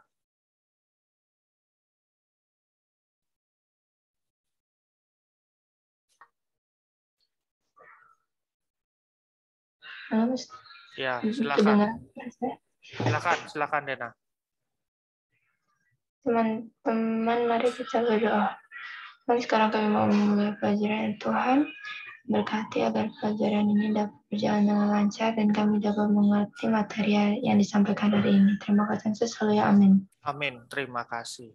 Ya, oke, kita lanjut materi dulu ya tentang jaringan ya sekarang ya. Jadi ya kalian tahu jaringan ya. Jadi jaringan itu adalah yang menyusun organ-organ pada tumbuhan. Nah, nggak cuma pada tumbuhan sih sebenarnya, pada makhluk hidup lain, manusia dan juga hewan, organ-organnya itu juga disusun oleh jaringan. Cuman kan kita tahunya organ tumbuhan kemarin kita sudah pelajari ya, ada yang namanya daun, ada buah, bunga, batang gitu ya, dan juga akar. Nah, sekarang kita akan mempelajari apa yang ada, apa yang menyusun organ-organ tersebut. Gitu ya. Yang jadi ada lima ya, lima jaringan penyusun tubuh tumbuhan. Nah, kelima jaringan ini di setiap organ ini ada. Ya. Jadi nggak kayak tubuh kita ya. Kalau tubuh kita ini kan spesifik ya. Kalau tubuh kita kan spesifik, misalkan nih jaringan, eh sorry, misalkan nih organ tubuhnya otot gitu ya. Yang menyusun apa? Jaringan otot, ya kan. Kemudian ada tulang. Tulang yang menyusun apa? Jaringan ikat, ya kan? Yang menyusun tubuh, eh, yang menyusun organ-organ tulang-tulang kita itu adalah jaringan ikat, ya. Kemudian jantung, jantung juga sama, ada jaringan otot di situ ya, jaringan otot jantung, sama jaringan darah juga di situ ada, gitu ya. Jadi nggak spesifik ya, kalau tubuh kita. Nah, kalau di tumbuhan ini dia hampir semua ada. Misalkan nih daun, di daun ada jaringan meristem, ada epidermis, ada parenkim, ada jaringan penguat, ada pengangkut juga ada. Di batang semuanya ada seperti itu ya. Jadi kelima jaringan inilah yang menyusun setiap organ pada tumbuhan dengan fungsinya masing-masing ya. Kita bahas yang pertama dulu yaitu jaringan meristem. Nah, jadi jaringan meristem ini adalah jaringan yang sel-selnya mampu membelah diri secara aktif dengan cara mitosis terus-menerus untuk menambah jumlah sel-sel tubuh pada tumbuhan. Jadi, yang menyebabkan berubahnya ukuran pada tumbuhan dari yang awalnya tanamannya itu kecil bisa jadi sebesar pohon itu karena adanya jaringan meristem ini ya. Jadi jaringan meristem inilah yang semakin aktif membelah membuat ukuran dari tumbuhan ini semakin membesar. Ya, nantinya jaringan meristem ini yang sudah selesai membelah dia akan berubah menjadi jaringan-jaringan yang lainnya seperti jaringan parenkim, jaringan pengangkut, ya, atau jaringan penguat. Nah, berdasarkan letaknya dibagi menjadi tiga. Yang pertama itu ada yang namanya meristem apikal. Jadi meristem apikal ini adanya di ujung-ujung pokok, batang, cabang, dan ujung akar. Jadi fungsinya adalah sebagai pertumbuhan primer, ya, bertambahnya ukuran panjang bagi akar dan juga batang batang semakin tinggi, akar semakin uh, menjulang ke bawah, itu karena adanya meristem apikal ini yang ada di ujung-ujungnya. Kemudian ada yang namanya meristem interkalar. Ya, meristem interkalar ini ada di bagian tengah ya. Ada di bagian tengah dari diameter suatu tumbuhan. Jadi fungsinya adalah untuk menambah panjang dan diameter dari ruas batang. Gitu ya. Jadi kalau kalian tahu batang itu kan ada yang beruas. Contohnya bambu deh. Bambu itu kan kayak ada pemisah-pemisahnya gitu ya. Nah, pemisah-pemisahnya itu namanya ruasnya. Nah, nanti kan kadang kalau kita lihat ruasnya itu kan lebih ke, lebih besar ukurannya ya, lebih besar diameternya atau lebih kembung dibandingkan dengan batang dari bambunya. Nah, karena di situ adanya penumpukan meristem interkalar di situ. Makanya dia bisa apa namanya lebih menggembung ya, lebih besar ukuran diameternya. Nah, nanti itu akan diikuti oleh uh, ukuran atau batang-batang yang ada di atasnya, dia akan semakin bertambah besar juga diameternya. Kemudian terakhir ada di meristem lateral. Ini letaknya ada di dalam juga ya, tapi bedanya kalau interkalar ini terkhusus ada di ruas aja, tapi kalau yang lateral ini ada di kambium biasanya ya, atau di bagian tengah dari batang tumbuhan berkayu. Ya. Nah, kalau kalian ketahui kambium itu kalau misalkan kalian ada punya pohon di rumah, nah itu kan pernah pohon dikuliti pasti ada seperti bagian dagingnya yang putih-putih itu ya, yang berwarna putih. Nah biasanya kalau mau dicangkok pasti dikuliti dulu, nah bagian putihnya itu nanti ditanemin tanah gitu ya. Nah itu adalah kambiumnya ya. Bagian yang putih-putih itu adalah kambiumnya. Nah di situlah letak dari meristem lateral sehingga dapat membuat ukuran dari sebuah pohon ini semakin besar diameternya dan bahkan eh, kalau kalian tahu lingkaran tahun ya istilah bagi eh, apa namanya eh, buletan-buletan kambium yang ada di batang itu namanya lingkaran tahun yang biasanya menunjukkan umur dari suatu pohon. Nah, itu yang menyebabkan itu ada itu adalah meristem lateral ini.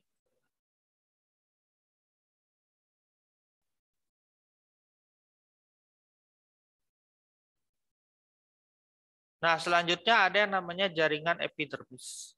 Jaringan epidermis ini adalah jaringan yang melindungi dan menutupi jaringan yang ada di bawahnya.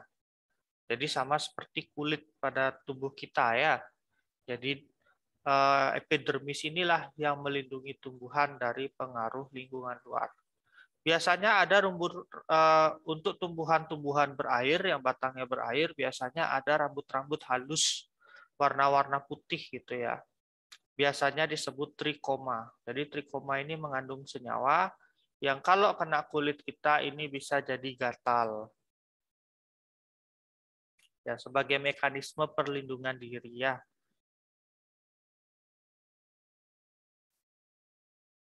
Kalau di kulit nama jaringannya epitel ya. Kalau di kulit tubuh kita, tapi kalau di tubuhan namanya epidermis. Bagian epidermis itu cuma yang ini ya, satu kotak lapisan di atas ini ya, yang seperti batu bata ini. ini. Yang di paling bawah ini juga.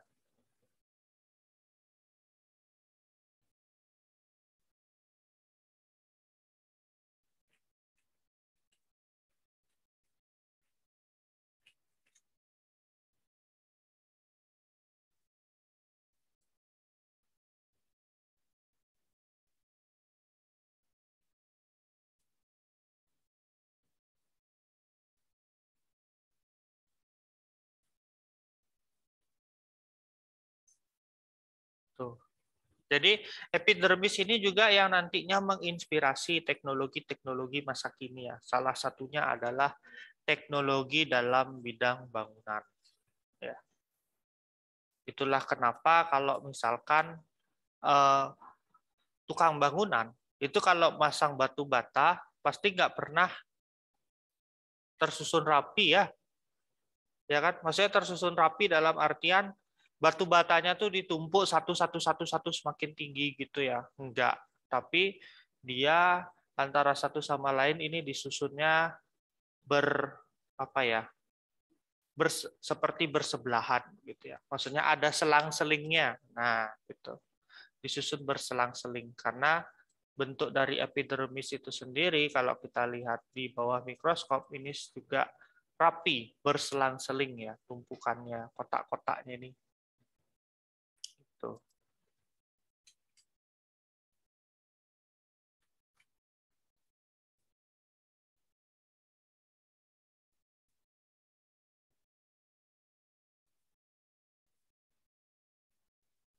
Selanjutnya ada yang namanya jaringan parenkim.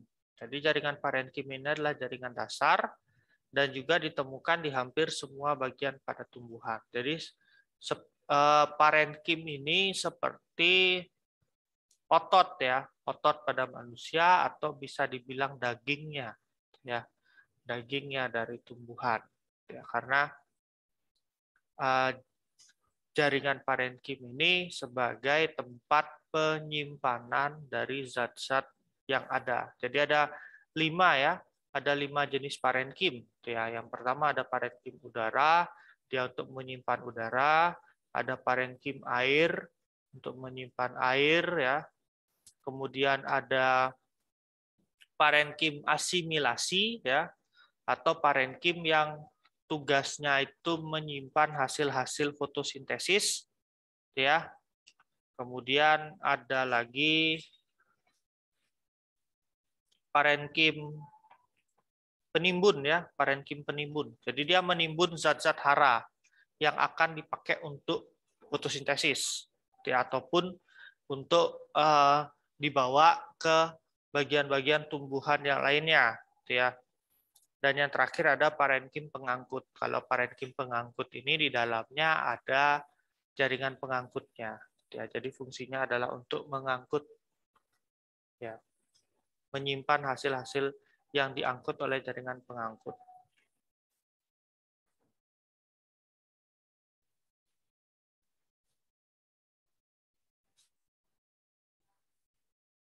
Kemudian ada jaringan penguat. Kalau jaringan penguat ini di tumbuhan ya sama seperti jaringan tulang di tubuh kita ya. Jadi fungsinya adalah menyokong dan memperkuat berdirinya tubuh dari tumbuhan. Kalau kita kan tulang ya. Kalau tumbuhan ini dia pakai jaringan penguat. Nah, berdasarkan sifatnya, jaringan penguat ini ada dua, yaitu ada yang kolenkim dan juga ada yang sklerenkim. Nah, kalau jaringan kolenkim ini tersusun atas sel-sel hidup ya. Jadi bentuknya memanjang, mengalami penebalan yang tidak teratur, dindingnya lunak dan lentur dan tidak berlignin. Isi selnya mengandung tanin dan juga kloroplas. Kolenkim ini dapat ditemukan di batang, daun, bunga, dan juga buah. Biasanya kolenkim ini paling banyak ada pada tumbuhan-tumbuhan yang berair ya banyak di tumbuhan-tumbuhan yang batangnya berair. Contohnya seperti padi, rumput, jagung, seperti itu ya. Nah, ini kenapa bisa berdiri dengan baik? Karena tersusun oleh jaringan kolenkim. Sedangkan jaringan sklerenkim ini adalah jaringan penguat dengan dinding sekunder yang tebal karena mengandung zat lignin. Ya, zat lignin itu adalah zat yang dapat mengeras berubah menjadi kayu. Ya. Jadi sklerenkim ini hanya dijumpai pada organ yang tidak mengalami pertumbuhan dan juga perkembangan. Contohnya ada pada pepohonan. Biasanya kalian lihat pepohonan ini kok kering, kayak nggak tumbuh daunnya, begitu ya. Nggak tumbuh daunnya, nggak makin tinggi, nggak makin apa, gitu ya. Nah itu karena semua jaringan-jaringan yang ada di batangnya atau di dahannya ini sudah menjadi jaringan sklerenkim. Ya, jadi ada perubahan gitu ya. Ada perubahan dari jaringan meristem ini bisa berubah menjadi jaringan sklerenkim. Sama juga kalau untuk yang di ujung-ujungnya biasanya kalau jaringan meristem apikal ini jadi kolenkim, kalau yang meristem yang lateral ini yang jadi sklerotidim. Gitu.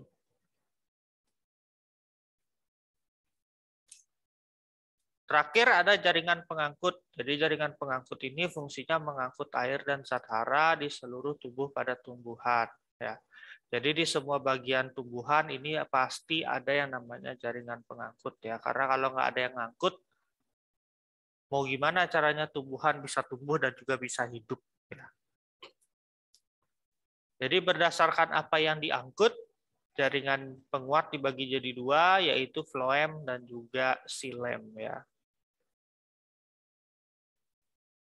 Jadi floem untuk mengangkut saat makanan hasil fotosintesis, sedangkan silem untuk mengangkut air dan saat hara.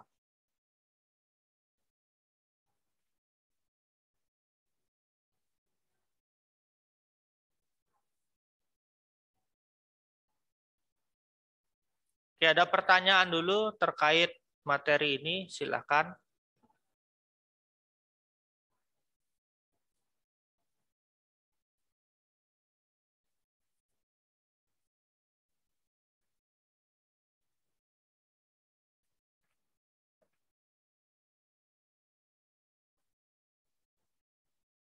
Sudah ngerti? Sudah ngerti? Kalau belum ada yang ngerti bisa ditanya. Oke, empat orang merespon jempol berarti saya harap uh, saya anggap kalian sudah mengerti ya. Oke, untuk selanjutnya ini karena Mister melihat ada banyak yang belum mengerjakan tugas ininya apa namanya tugas mengamati ciri-ciri tumbuhan yang berada di lingkungan yang ada di rumah. Nah, ini Mister berbaik hati memberikan kalian kesempatan untuk menyelesaikannya. Silakan, Mister berikan waktu sekarang untuk kalian bisa menyelesaikan. Nah, untuk yang sudah selesai, Mister ucapkan terima kasih dan ya supaya kalian juga ada ya penambahan ilmu juga, nambah nambah informasi, Mister akan setelkan video gitu ya masih tentang tumbuhan ya. Masih tentang tumbuhan. Kalau kalian ada yang mau kalian tanya-tanya, ya silahkan. Selama video tersebut berjalan, kalian mau tanya, boleh.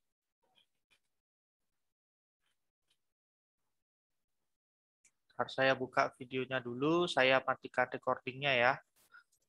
Oke, Mister update dulu ya untuk yang mengumpul. Oke, masih belum ada tambahan ternyata ya masih belum ada yang bertambah, silahkan dikerjakan ya. Mengerjakannya nggak lama kok.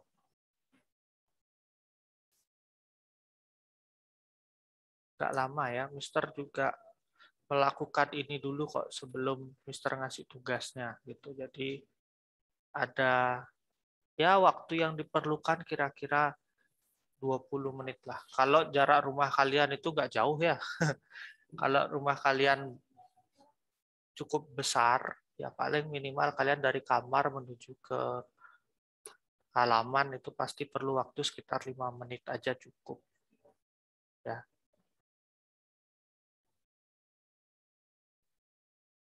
Dan paling enggak pasti ada ada minimal ada tiga tanaman yang ada di rumah ya.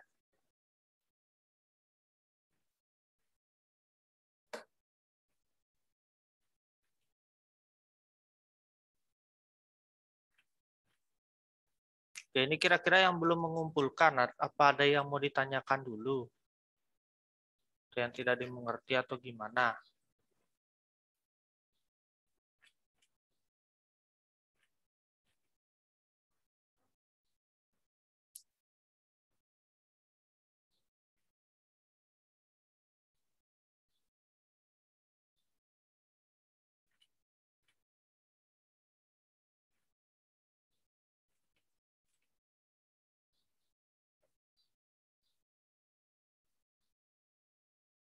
Mana? Tidak ada yang ditanyakan?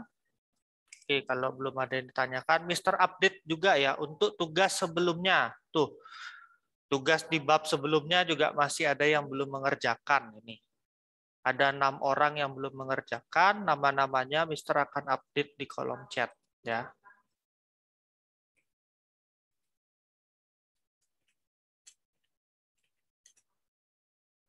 Ya, ini ya nama-namanya jadi ada beberapa di antara kalian juga yang ada di sini, ya. Ada yang nggak masuk juga hari ini, bisa tolong diberitahukan orang-orangnya, gitu ya. Bisa mohon kalian saling bekerja sama, ya. Maksudnya saling bisa mengingatkan satu sama lain. Kalian satu kelas, ya.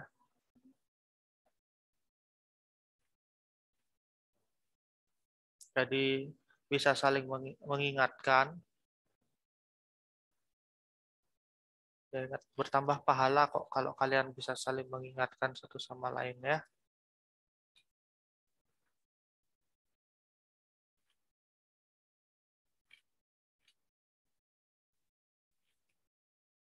Ya pokoknya kalau memang tidak ada pengumpulan sama sekali, ya berarti ya untuk dinilai PTS-nya ya mohon maaf nih ya kalau Mister mungkin berikan nilai nol ya kalau memang kalian tidak ada mengerjakan tugas gitu aja.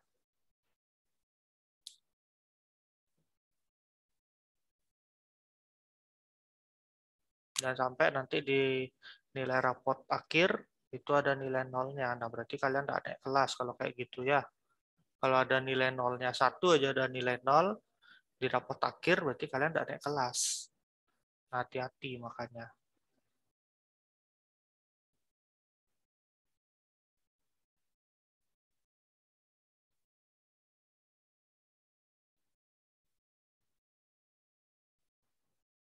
Ya, untuk yang sudah mengumpulkan, Mister mohon maaf ya, Mister tidak bisa berikan nilai karena ya karena belum semuanya ngumpul gitu ya. Kalau sudah semuanya mengumpulkan ya Mister bisa aja kasih nilainya gitu ya. Enggak ada yang mau ditanyakan dulu nih? Apa kalian sudah mengerti gitu dengan tugasnya? Apa kalian sudah ngerti dengan materinya gitu ya? Kalau kalian tidak aktif seperti ini, ya gimana caranya ilmunya bisa sampai gitu ya. Tugasnya juga bisa kelar, ya gimana caranya kalau kalian tidak aktif untuk bertanya untuk menyelesaikan gitu ya. Oke, ini juga Mister temukan ada yang mengumpulkan tidak sesuai dengan uh, instruksi ya. Tidak sesuai dengan instruksi. Nah, Mister minta instruksinya kalian untuk mendownload Word-nya, tapi ini hanya diketik aja di apa namanya di aplikasi catatan yang ada di HP ya. Jadi ini Mister tidak bisa terima tugasnya, mohon maaf. Jadi silakan dikirim ulang ya.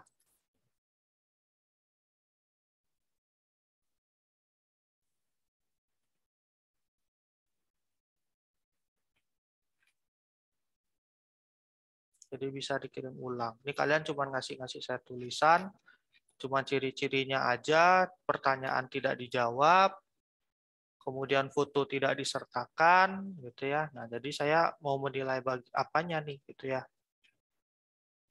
Karena yang saya perlukan kan fotonya, keaslian fotonya, itu ya, yang saya perlukan dalam penilaian, kemudian kesesuaian foto dengan ciri-cirinya, gitu ya. Apakah itu sudah sesuai? Kemudian bagaimana kalian menjawab pertanyaan-pertanyaan yang ada di bawah tabelnya itu? Apakah kalian sudah jawab sesuai dengan tabelnya atau malah kalian copy paste dari internet gitu ya. Jadi bisa ketahuan tuh kalau kayak gitu.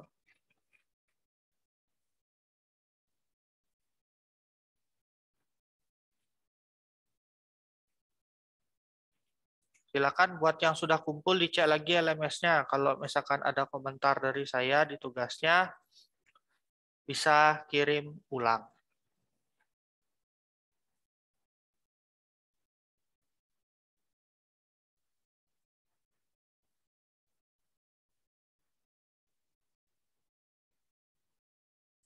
Minimal berapa tanaman? Tidak ada minimal maksimalnya ya. Mister sudah buatkan di situ tiga tabel. Berarti ada tiga tanaman. Tidak kurang, nggak lebih.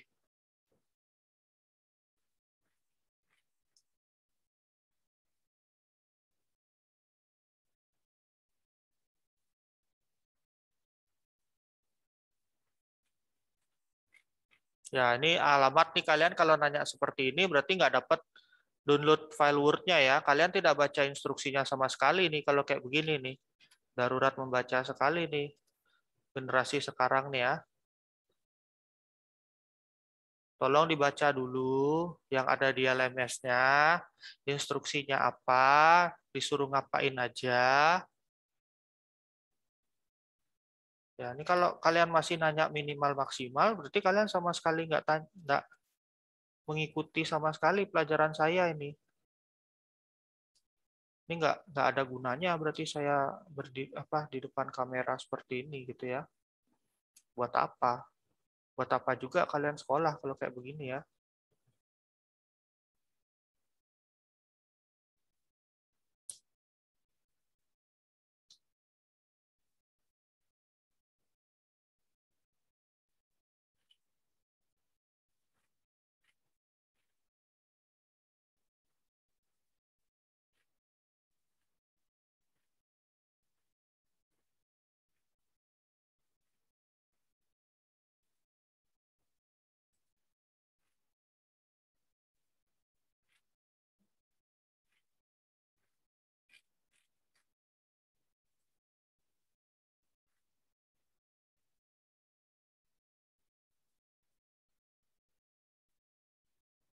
Ya, kalau tidak ada komentar nggak usah kirim ulang. Berarti tugasnya kalian sudah dikerjakan dengan baik. Gitu aja. Ya, berarti ini Mister berterima kasih buat kalian yang mengumpulkan tepat-tepat waktu ya.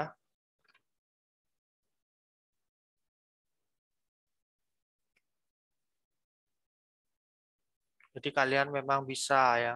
Saya Berarti saya anggap kalian ini memang anak yang disiplin, kalian bisa mengatur waktu dengan baik ya, apalagi tugasnya yang Mister berikan ini ada jeda waktu liburnya ya. Jadi kalian bisa mengerjakan itu kalau kalian mau liburan dengan baik ya kalian bisa kerjain dulu tugasnya baru kalian liburan ya. Ini Mister lihat sih rata-rata yang ngumpul-ngumpul ini sebelum liburan ini. Ya sebelum liburan ya puji Tuhan lah terima kasih. Berarti kalian sudah bisa memanfaatkan waktu dengan baik. Kalau kalian yang belum belum ngumpul ini kalau kalian kebiasaan seperti itu terus terus terusan gitu ya. Nah itu akan menumbuhkan bibit-bibit kemalasan ya. Jadi kebiasaan nantinya malas kumpul tugas jadi kalian akan jadi malas ngapa-ngapain. Nggak ada kemampuan jadinya buat kalian ya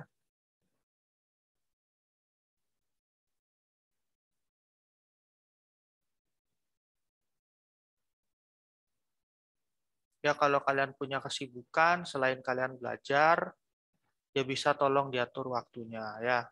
Kewajiban kalian yang sekarang ini masih tetap sekolah, kewajiban utama. Ya, jangan kesampingkan kewajiban utama. Kalau kalian kesampingkan kewajiban utama, nanti itu akan jadi kebiasaan, ya. Jadi kebiasaan nanti semakin dewasa, kalian akan semakin meremehkan kewajiban kalian gitu ya. Jadi ah nggak usah dikerjain deh, toh juga ntar nggak apa-apa gitu ya. Nah kalau udah kebiasaan kayak gitu susah ya, susah. Kalian nggak bakal bisa berkembang kemampuannya kalau kayak gitu ya. Malah nanti akan dikalahkan oleh oh adik-adik kelas kalian seperti itu ya. Nggak ada orang yang bodoh kok sebenarnya. Yang ada orang yang malas. Sehingga kemampuannya itu jadi berkurang. Ya. Orang yang bodoh sebenarnya nggak ada.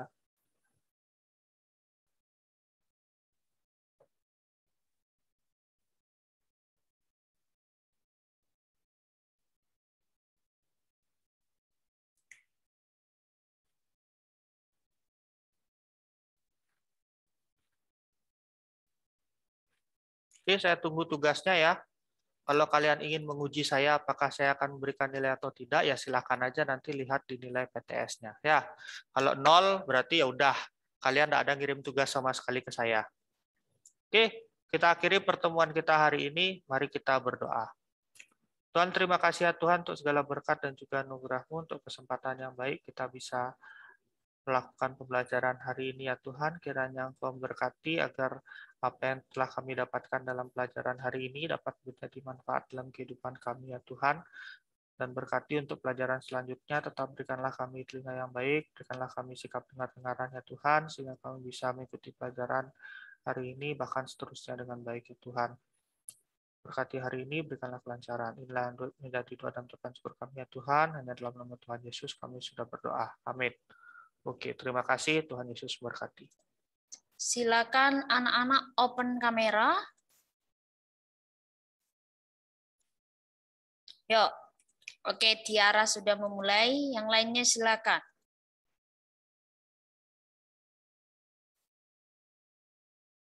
Oke. Ya.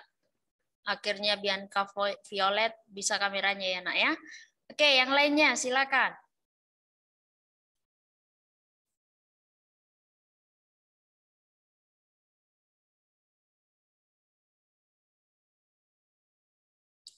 Yuk.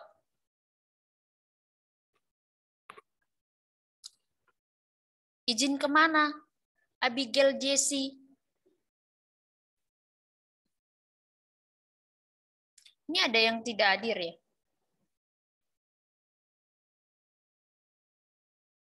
Ya, silakan semuanya open kameranya, Queen. Aston, Abigail, Abigail izin apa? Yang jelas izinnya. Roland, Dena, Stephen, Sean, Sheba, Shalom, Bianca Angelica. Oke, Sean, silakan. Oke.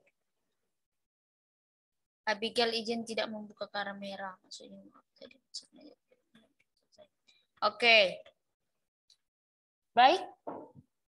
Oke, anak-anak eh, kita berdua dulu. Sebelumnya Miss minta Dina. Dina bisa pimpin doa?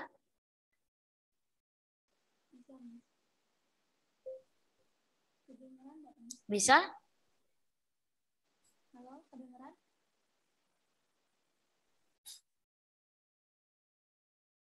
Ayo, Dina.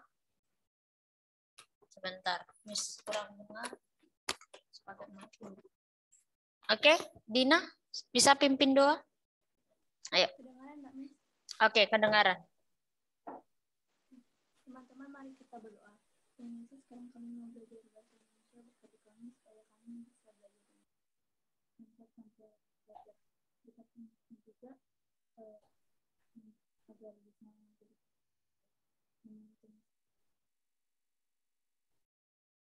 Oke, amin. Oke, anak-anak, Miss mau absen. Abigail Jesse. Abigail Hadir, Jesse. Miss. Oke. Tiara, Hadir, Miss. Andrea, Hadir, Miss.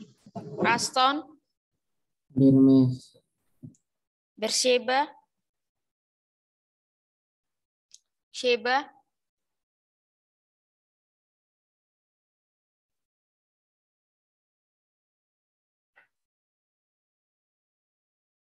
Bianca Angelica,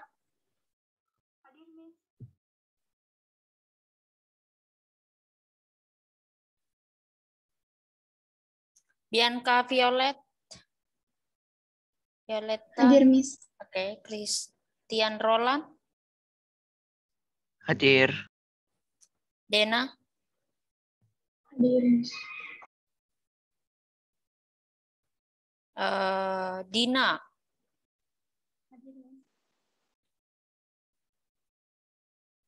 lalu Devon, ada? Hadir, Miss. Oke, Faitli, Hadir, Miss. Ino, Ino, oke, J, Hadir, Miss. Queen, Hadir, Miss. Dewika, Hadir, Miss. Noah, Noah, Stephen, Hadir, Miss. Sean, Sean, ada Sean, Shalom. Hadir, Miss.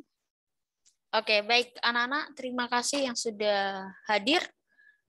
Oke, Miss sudah memeriksa tugas, tapi bukan tugas yang ini, ada tugas Miss masih eh, apa ya, satu-satu mengerjakan eh, eh, mengoreksi, mengoreksi tugas-tugas kalian dan kemarin itu baru kegiatan keterampilan pembelajaran yang sebelumnya. Jadi Miss minta maaf, Miss memang ada sedikit keterlambatan untuk mengoreksi karena Miss harus mengoreksi enam kelas dari kelas 7 sampai kelas 8. Oke, baik anak-anak. Mungkin kalau kalian lihat hasil dari penilaian kalian mungkin ada yang bagus, ada yang enggak. Yaitu sesuai dengan proses yang kalian lakukan. Kalau proses kalian ada sedikit usaha, pasti hasilnya akan lebih baik. Karena akan kelihatan siapa yang copy paste sama yang di copy paste tapi ada di edit sama yang dikerjakan sendiri. Oke? Okay? Miss sedikit ada rasa kecewa tapi Miss tidak bisa berbuat apa-apa. Miss sudah arahkan anak-anak boleh ambil dari internet tapi dimodifikasi. Tapi ada yang copy paste-nya itu persis sekali. Sampai e, cara penulisan pun tidak dipertimbangkan. Sampai nggak dipertimbangkan, nggak diperhatikan lagi. Tinggal copy paste. Sehingga ada juga yang copy paste dari internet, akhirnya ketahuan. Yang si A copy paste dari internet, si C juga, si E juga ketahuan. Kok sama? Kenapa sama ya? gitu Mungkin Anda ada yang selamat, contohnya aku Miss buat nilainya di sana 80. Miss masih oke, okay, baik baiklah gitu ya. Tapi di nilai sikap Miss akan perhitungkan. Oke? Okay? Jadi Miss kira, Miss harap anak-anak boleh cari dari internet sebagai bahan referensi. Tapi sedikit kreatif ya. Banyak orang yang pintar tapi yang kreatif itu bisa dihitung jari. Copy paste tapi kan bisa kamu entah balikkan ceritanya dari yang bawah jadi ke atas atau kamu tambah-tambahin, lalu cara pengeditannya kamu ubah, cara penulisannya standar pakai Times New Roman ukuran 12, judul ada, ada yang tidak. Supaya lebih menarik buat tampilan seperti seolah-olah teks berita, Kan bisa. Lalu yang menjadi kebingungan Miss, ada yang copy paste bagus tulisannya tanda bacanya ter bagus, tapi tidak hasil dari pemikirannya. Ada yang kerjakan sendiri, buat sendiri, Miss tahu itu dia buat sendiri, tapi penggunaan tanda baca dan hal-hal yang berhubungan dengan bahasa Indonesia hilang. Tidak digunakan dengan baik. Miss tidak ada lagi kesempatan untuk anak-anak untuk belajar dari awal. Harusnya dari SD sudah diajarkan cara penggunaan tanda baca, cara penggunaan huruf kapital, kalimat yang baik, dan lain sebagainya. Lalu ada kata depan diikuti dengan uh, suatu kalimat. Bagaimana dispasi atau disa, uh, digabung. Itu kan harus dipertimbangkan. Biasanya yang menjadi masalah di penggunaan di dan ke di dan ke ini sering kali salah.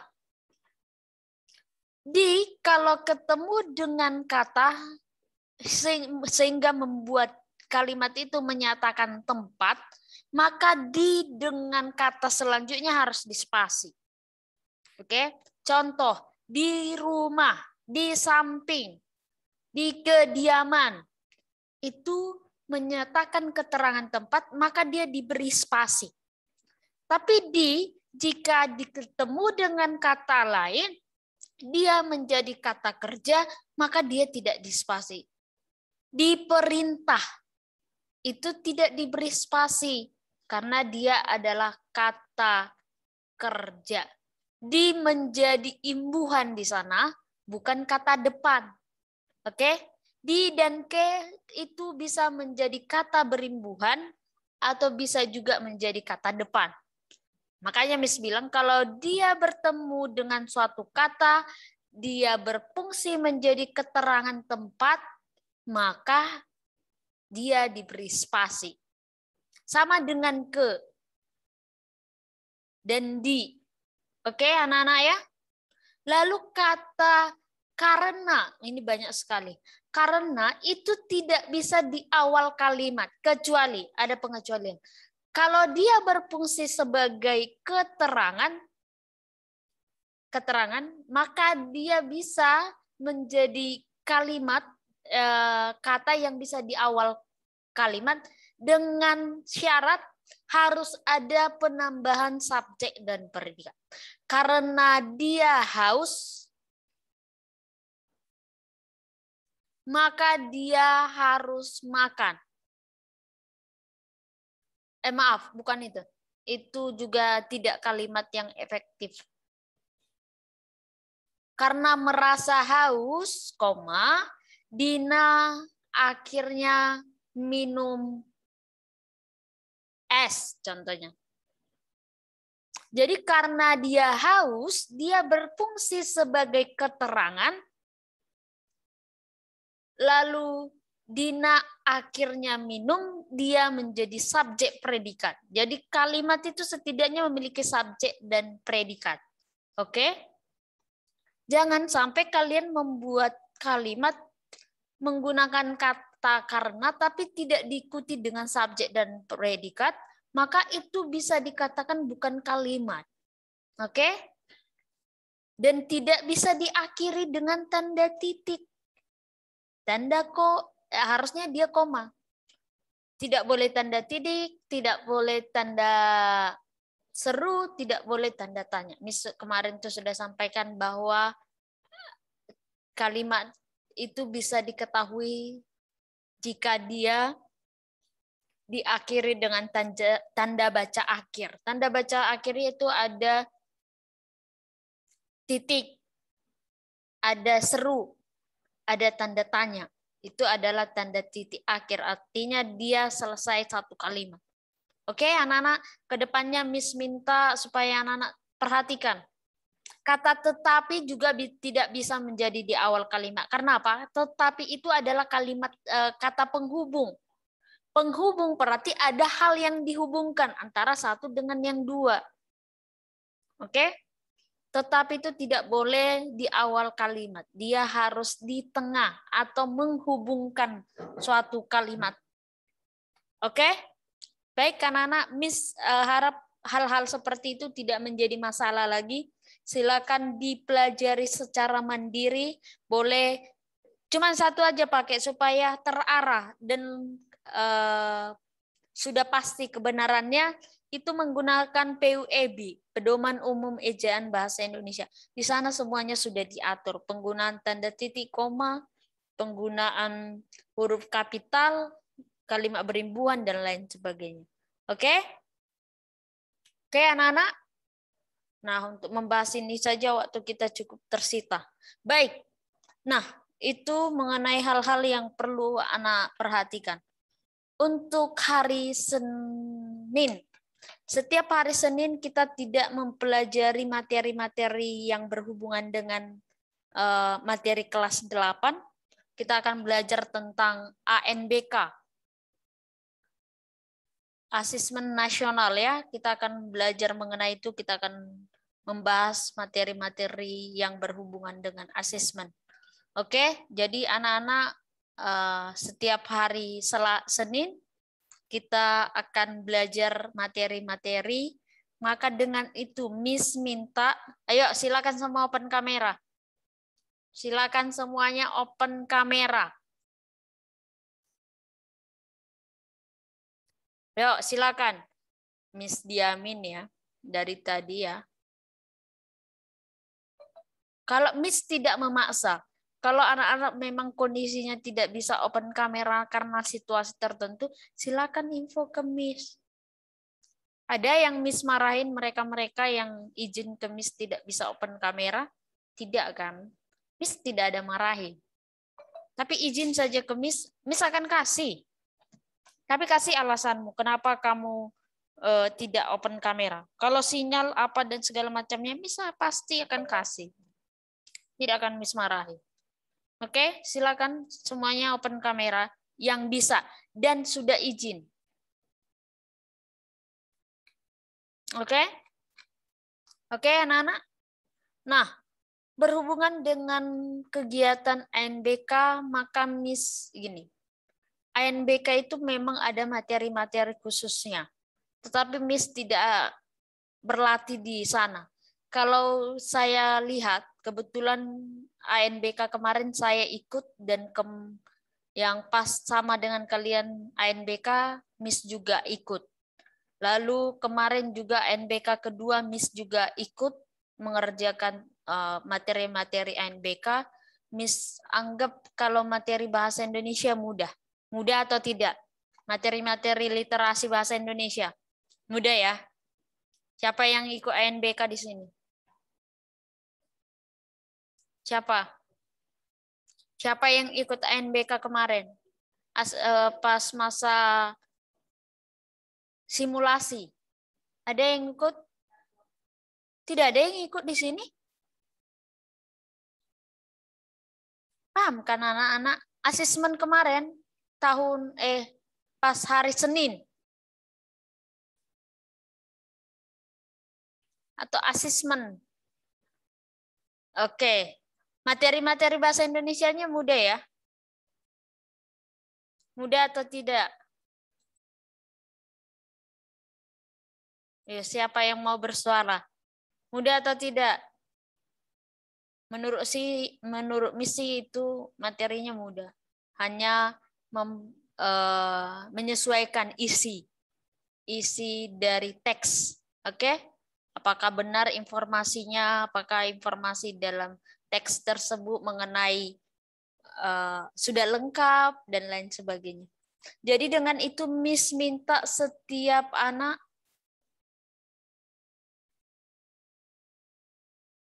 Oh, oke. Okay. Error ya pada saat itu ya. Oke. Okay. Nah, anak-anak untuk kita melatih pembelajaran ANBK, maka dengan itu Miss minta setiap anak mencari, bukan membuat ya, mencari lima soal ANBK yang berhubungan dengan bahasa Indonesia, boleh dicari di internet atau di mana saja bebas, oke? Okay? Cari lima, lalu kita akan bahas. Nanti Miss akan tunjuk, silakan share, uh, Tiara contohnya. Lalu kita akan bahas. Kenapa tidak materi dulu Miss, baru pelatihan soal? Tidak perlu. Miss mau sampaikan tidak perlu kita membahas materi. Kita bahas saja dulu soalnya, baru kita angkat materinya apa. Contoh kalau di dalam soalmu itu berbicara mengenai tokoh, mencari tokoh dalam teks, maka kita akan coba bagaimana cara mudah menjawab soal-soal asesmen yang berhubungan dengan teks panjang dan lain sebagainya. Oke? Paham anak-anak? Berarti mencari lima soal asesmen yang berhubungan dengan bahasa Indonesia. Di internet banyak sekali, silakan boleh di-download, uh, diambil dari sana. Oke? Paham? Paham anak-anak? Ada yang mau bertanya sejauh ini? Oke, itu hari Senin. Berarti kamu sudah punya uh, materinya setidaknya hari Senin. Oke? Sebelum pembelajaran bahasa Indonesia sudah punya. Oke? Paham anak-anak? Paham? Kasih reaction. Oke. Kasih reaction supaya Miss bisa pastikan kalian uh, memahami hal yang Miss sampaikan. Oke, cari lima soal asesmen yang berhubungan dengan bahasa Indonesia. Itu, nah sekarang kita masuk ke materi kita yang tentang uh, iklan, slogan, dan poster. Nah, sebelum kita sampai di sana, Miss akan putarkan video Mari kita dengar bersama-sama. Nanti ada sedikit gangguan di dalam video, ada suara anak. Tidak usah terlalu memperhatikan itu. Silakan anak-anak perhatikan saja isi yang disampaikan oleh video tersebut mengenai kebahasaan dari teks uh, dari poster, iklan dan slogan. Oke? Oke, silakan didengarkan ya disampaikan di sana mengenai kaidah kebahasan pada poster, slogan, dan iklan. Maka itu benar semuanya dan hanya disampaikan bahwa semuanya bersifat mempengaruhi. Mempengaruhi kita untuk membeli atau mempengaruhi kita untuk melakukan seperti apa yang terdapat pada teks iklan, poster, maupun slogan. Oke, sedikit berbicara mengenai struktur teks iklan dan poster. Misalkan sampaikan yang pertama adalah pengenalan produk. Bagian ini dapat berupa bagian judul. Jadi pengenalan produk itu bisa judul atau kamu menyampaikan fakta-fakta mengenai produk yang kamu promosikan. Lalu pernyataan persuasif berisikan pernyataan yang mendorong pembaca atau pendengar berbuat sesuatu. Bagian ini biasanya berupa pernyataan tentang kelebihan produk yang ditawarkan, apa yang kamu coba tawarkan. Contohnya diskon 50% untuk pembeli pertama. Itu adalah suatu pernyataan tentang kelebihan dari produk. Oke? Lalu ada logo atau uh, merek. Logo atau apa ya? Logo dari perusahaan yang membuat iklan bisa berupa gambar maupun logo perusahaan atau nama produk. Misalnya eh, gambar eh, kalau dia mau menjual mobil contohnya logonya bisa Honda, Yamaha dan lain sebagainya. Oke, anak-anak bisa bisa Miss minta tolong silakan open kamera. Bisa? Oke, silakan semuanya open kamera. Ini semua sampaikan seperti ini. Kalau iklan, kalau iklan itu dapat kamu temukan berupa gambar, bisa audio, bisa video, oke? Maka iklan ini bisa kamu temukan di televisi, di radio, dan di internet, oke? Bisa dia gerak, karena video kan bisa berbicara tentang gerak. Tapi kalau poster itu bentukannya hanya dalam bentuk foto.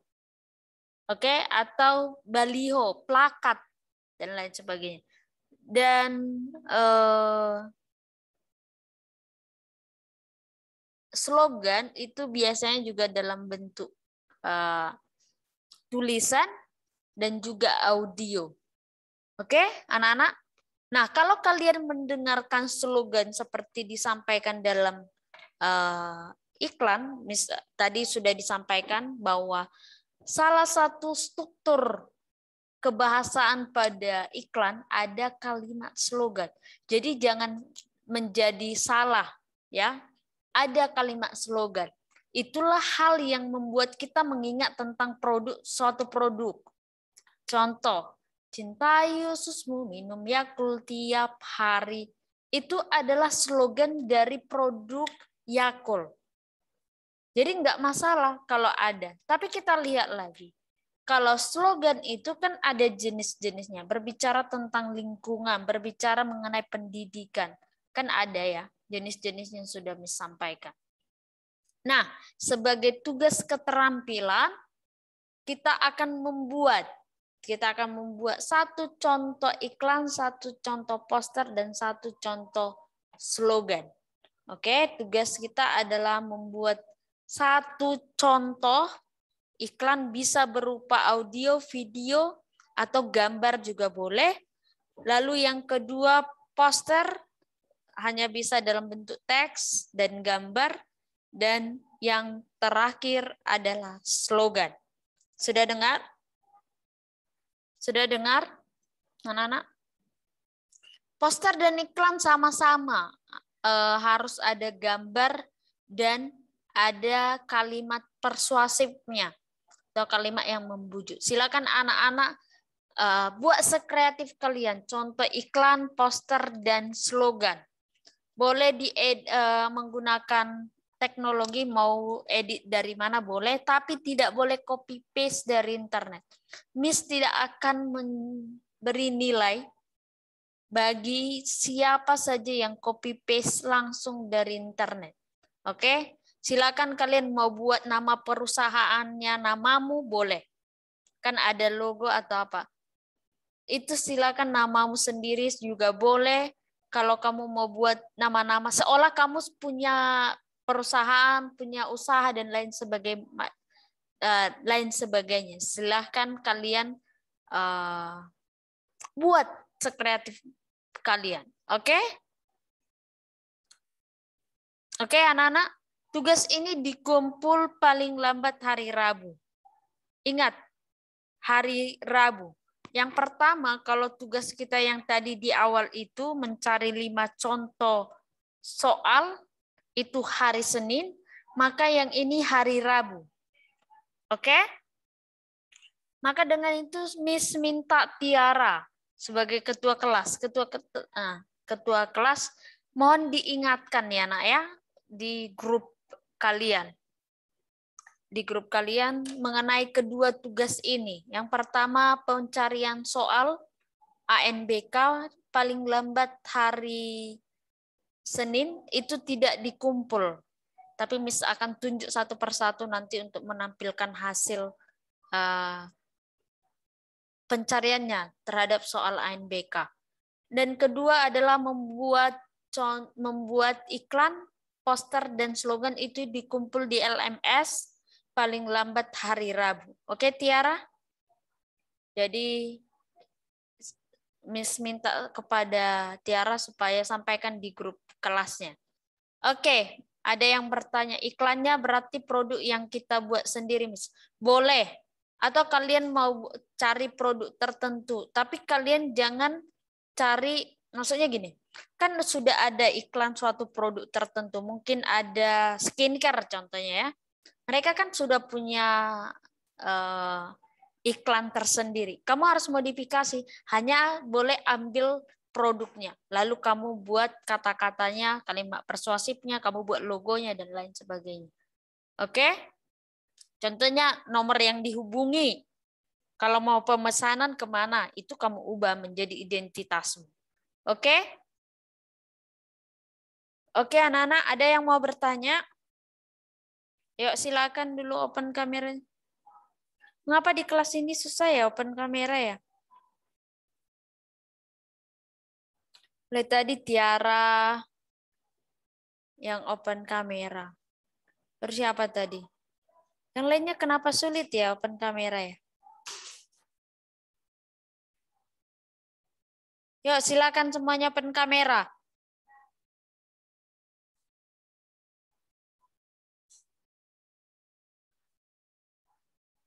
Yuk silakan open kamera. Iya, berat Iya, tugasnya ada yang untuk slogan, poster, dan iklan itu jadinya jadi tiga karya ya, tiga karya. Anak-anak diberi kebebasan pakai uh, pakai Miss sering buat pakai Canva, boleh pakai Canva, mau pakai video apa, pakai aplikasi apa bebas. Asalkan kamu tidak copy paste dari internet saja. Oke? Oke anak-anak? Paham?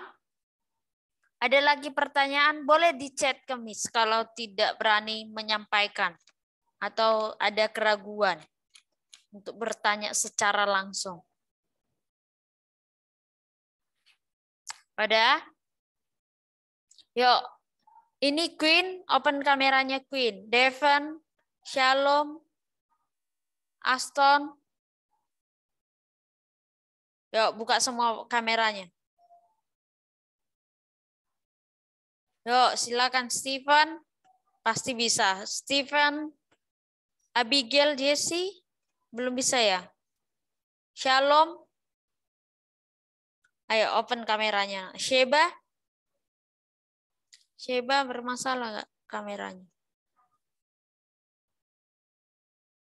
Oke, Sheba kayaknya bermasalah. Ayo yang lainnya. Di open kameranya.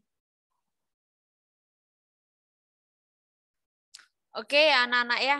Miss minta maaf harus uh, doublekan tugasnya. Karena Miss baru dapat info mengenai ANBK. Jadi setiap hari Senin kita tidak membahas materi-materi yang berhubungan dengan bahasa Indonesia khusus kelas 8, tapi kita akan membahas mengenai soal-soal ANBK dan materi-materi yang berhubungan dengan ANBK. Oke? Bagaimana kemarin siapa yang uh, setidaknya jawab beberapa soal yang berhubungan dengan bahasa Indonesia pada ANBK. Ada? Asesmen nasional berbasis komputer. Ada? Semua gagal punya anak-anak semuanya? Oh, Aston. Aston kemarin uh, selesai semuanya? Atau error? Mengerjain tiga soal, kan? Berapa soal, nak? Tiga soal. Tiga soal. Itu bahasa Indonesia atau enggak? Bahasa Indonesia semua. Oke. Sebenarnya enggak sulit ya, Stone ya. Cuman menyesuaikan isinya saja ya. Ya kan? Kamu tentang siapa? Ratu itu kah? Cat cat apa itu? Tidak. Materinya tentang apa punya kamu kemarin? Teksnya tentang apa? Aston? Masih ingat atau sudah lupa? Sudah lupa, Miss. Oke, sudah lupa. Ada lagi? Ada lagi semuanya gagal kemarin? Pas ANBK karena jaringan? Oh, sistem ya, sistem dari pusat sepertinya. Karena pas hari itu bersamaan dengan BIS juga ikut ANBK di sini. Jadi jangan kalian kira cuman kalian saja ya yang ikut ANBK. Mistiur udah dua kali ikut ANBK. Yang pertama bersamaan dengan jadwal kalian dan yang kedua baru kemarin. Kemarin Miss ikut ANBK juga. Kalau bahasa Indonesia menurut Misi tidak susah. Tapi kita akan menjadi lebih pusing karena apa? Yang pertama kita lihat adalah teksnya. Teksnya panjang-panjang sekali. Iya kan? Gak ada ya yang ngerasainnya. Yang lainnya, Andrea, kamu ikut? Baru sempat ngerjain beberapa soal doang, Miss. Uh, beberapa soal. Ada bahasa Indonesia? Iya. Mengenai teks apa? Um, yang apa? Yang Catherine siapa gitu yang dari Oh. NASA. Oke, dari NASA itu.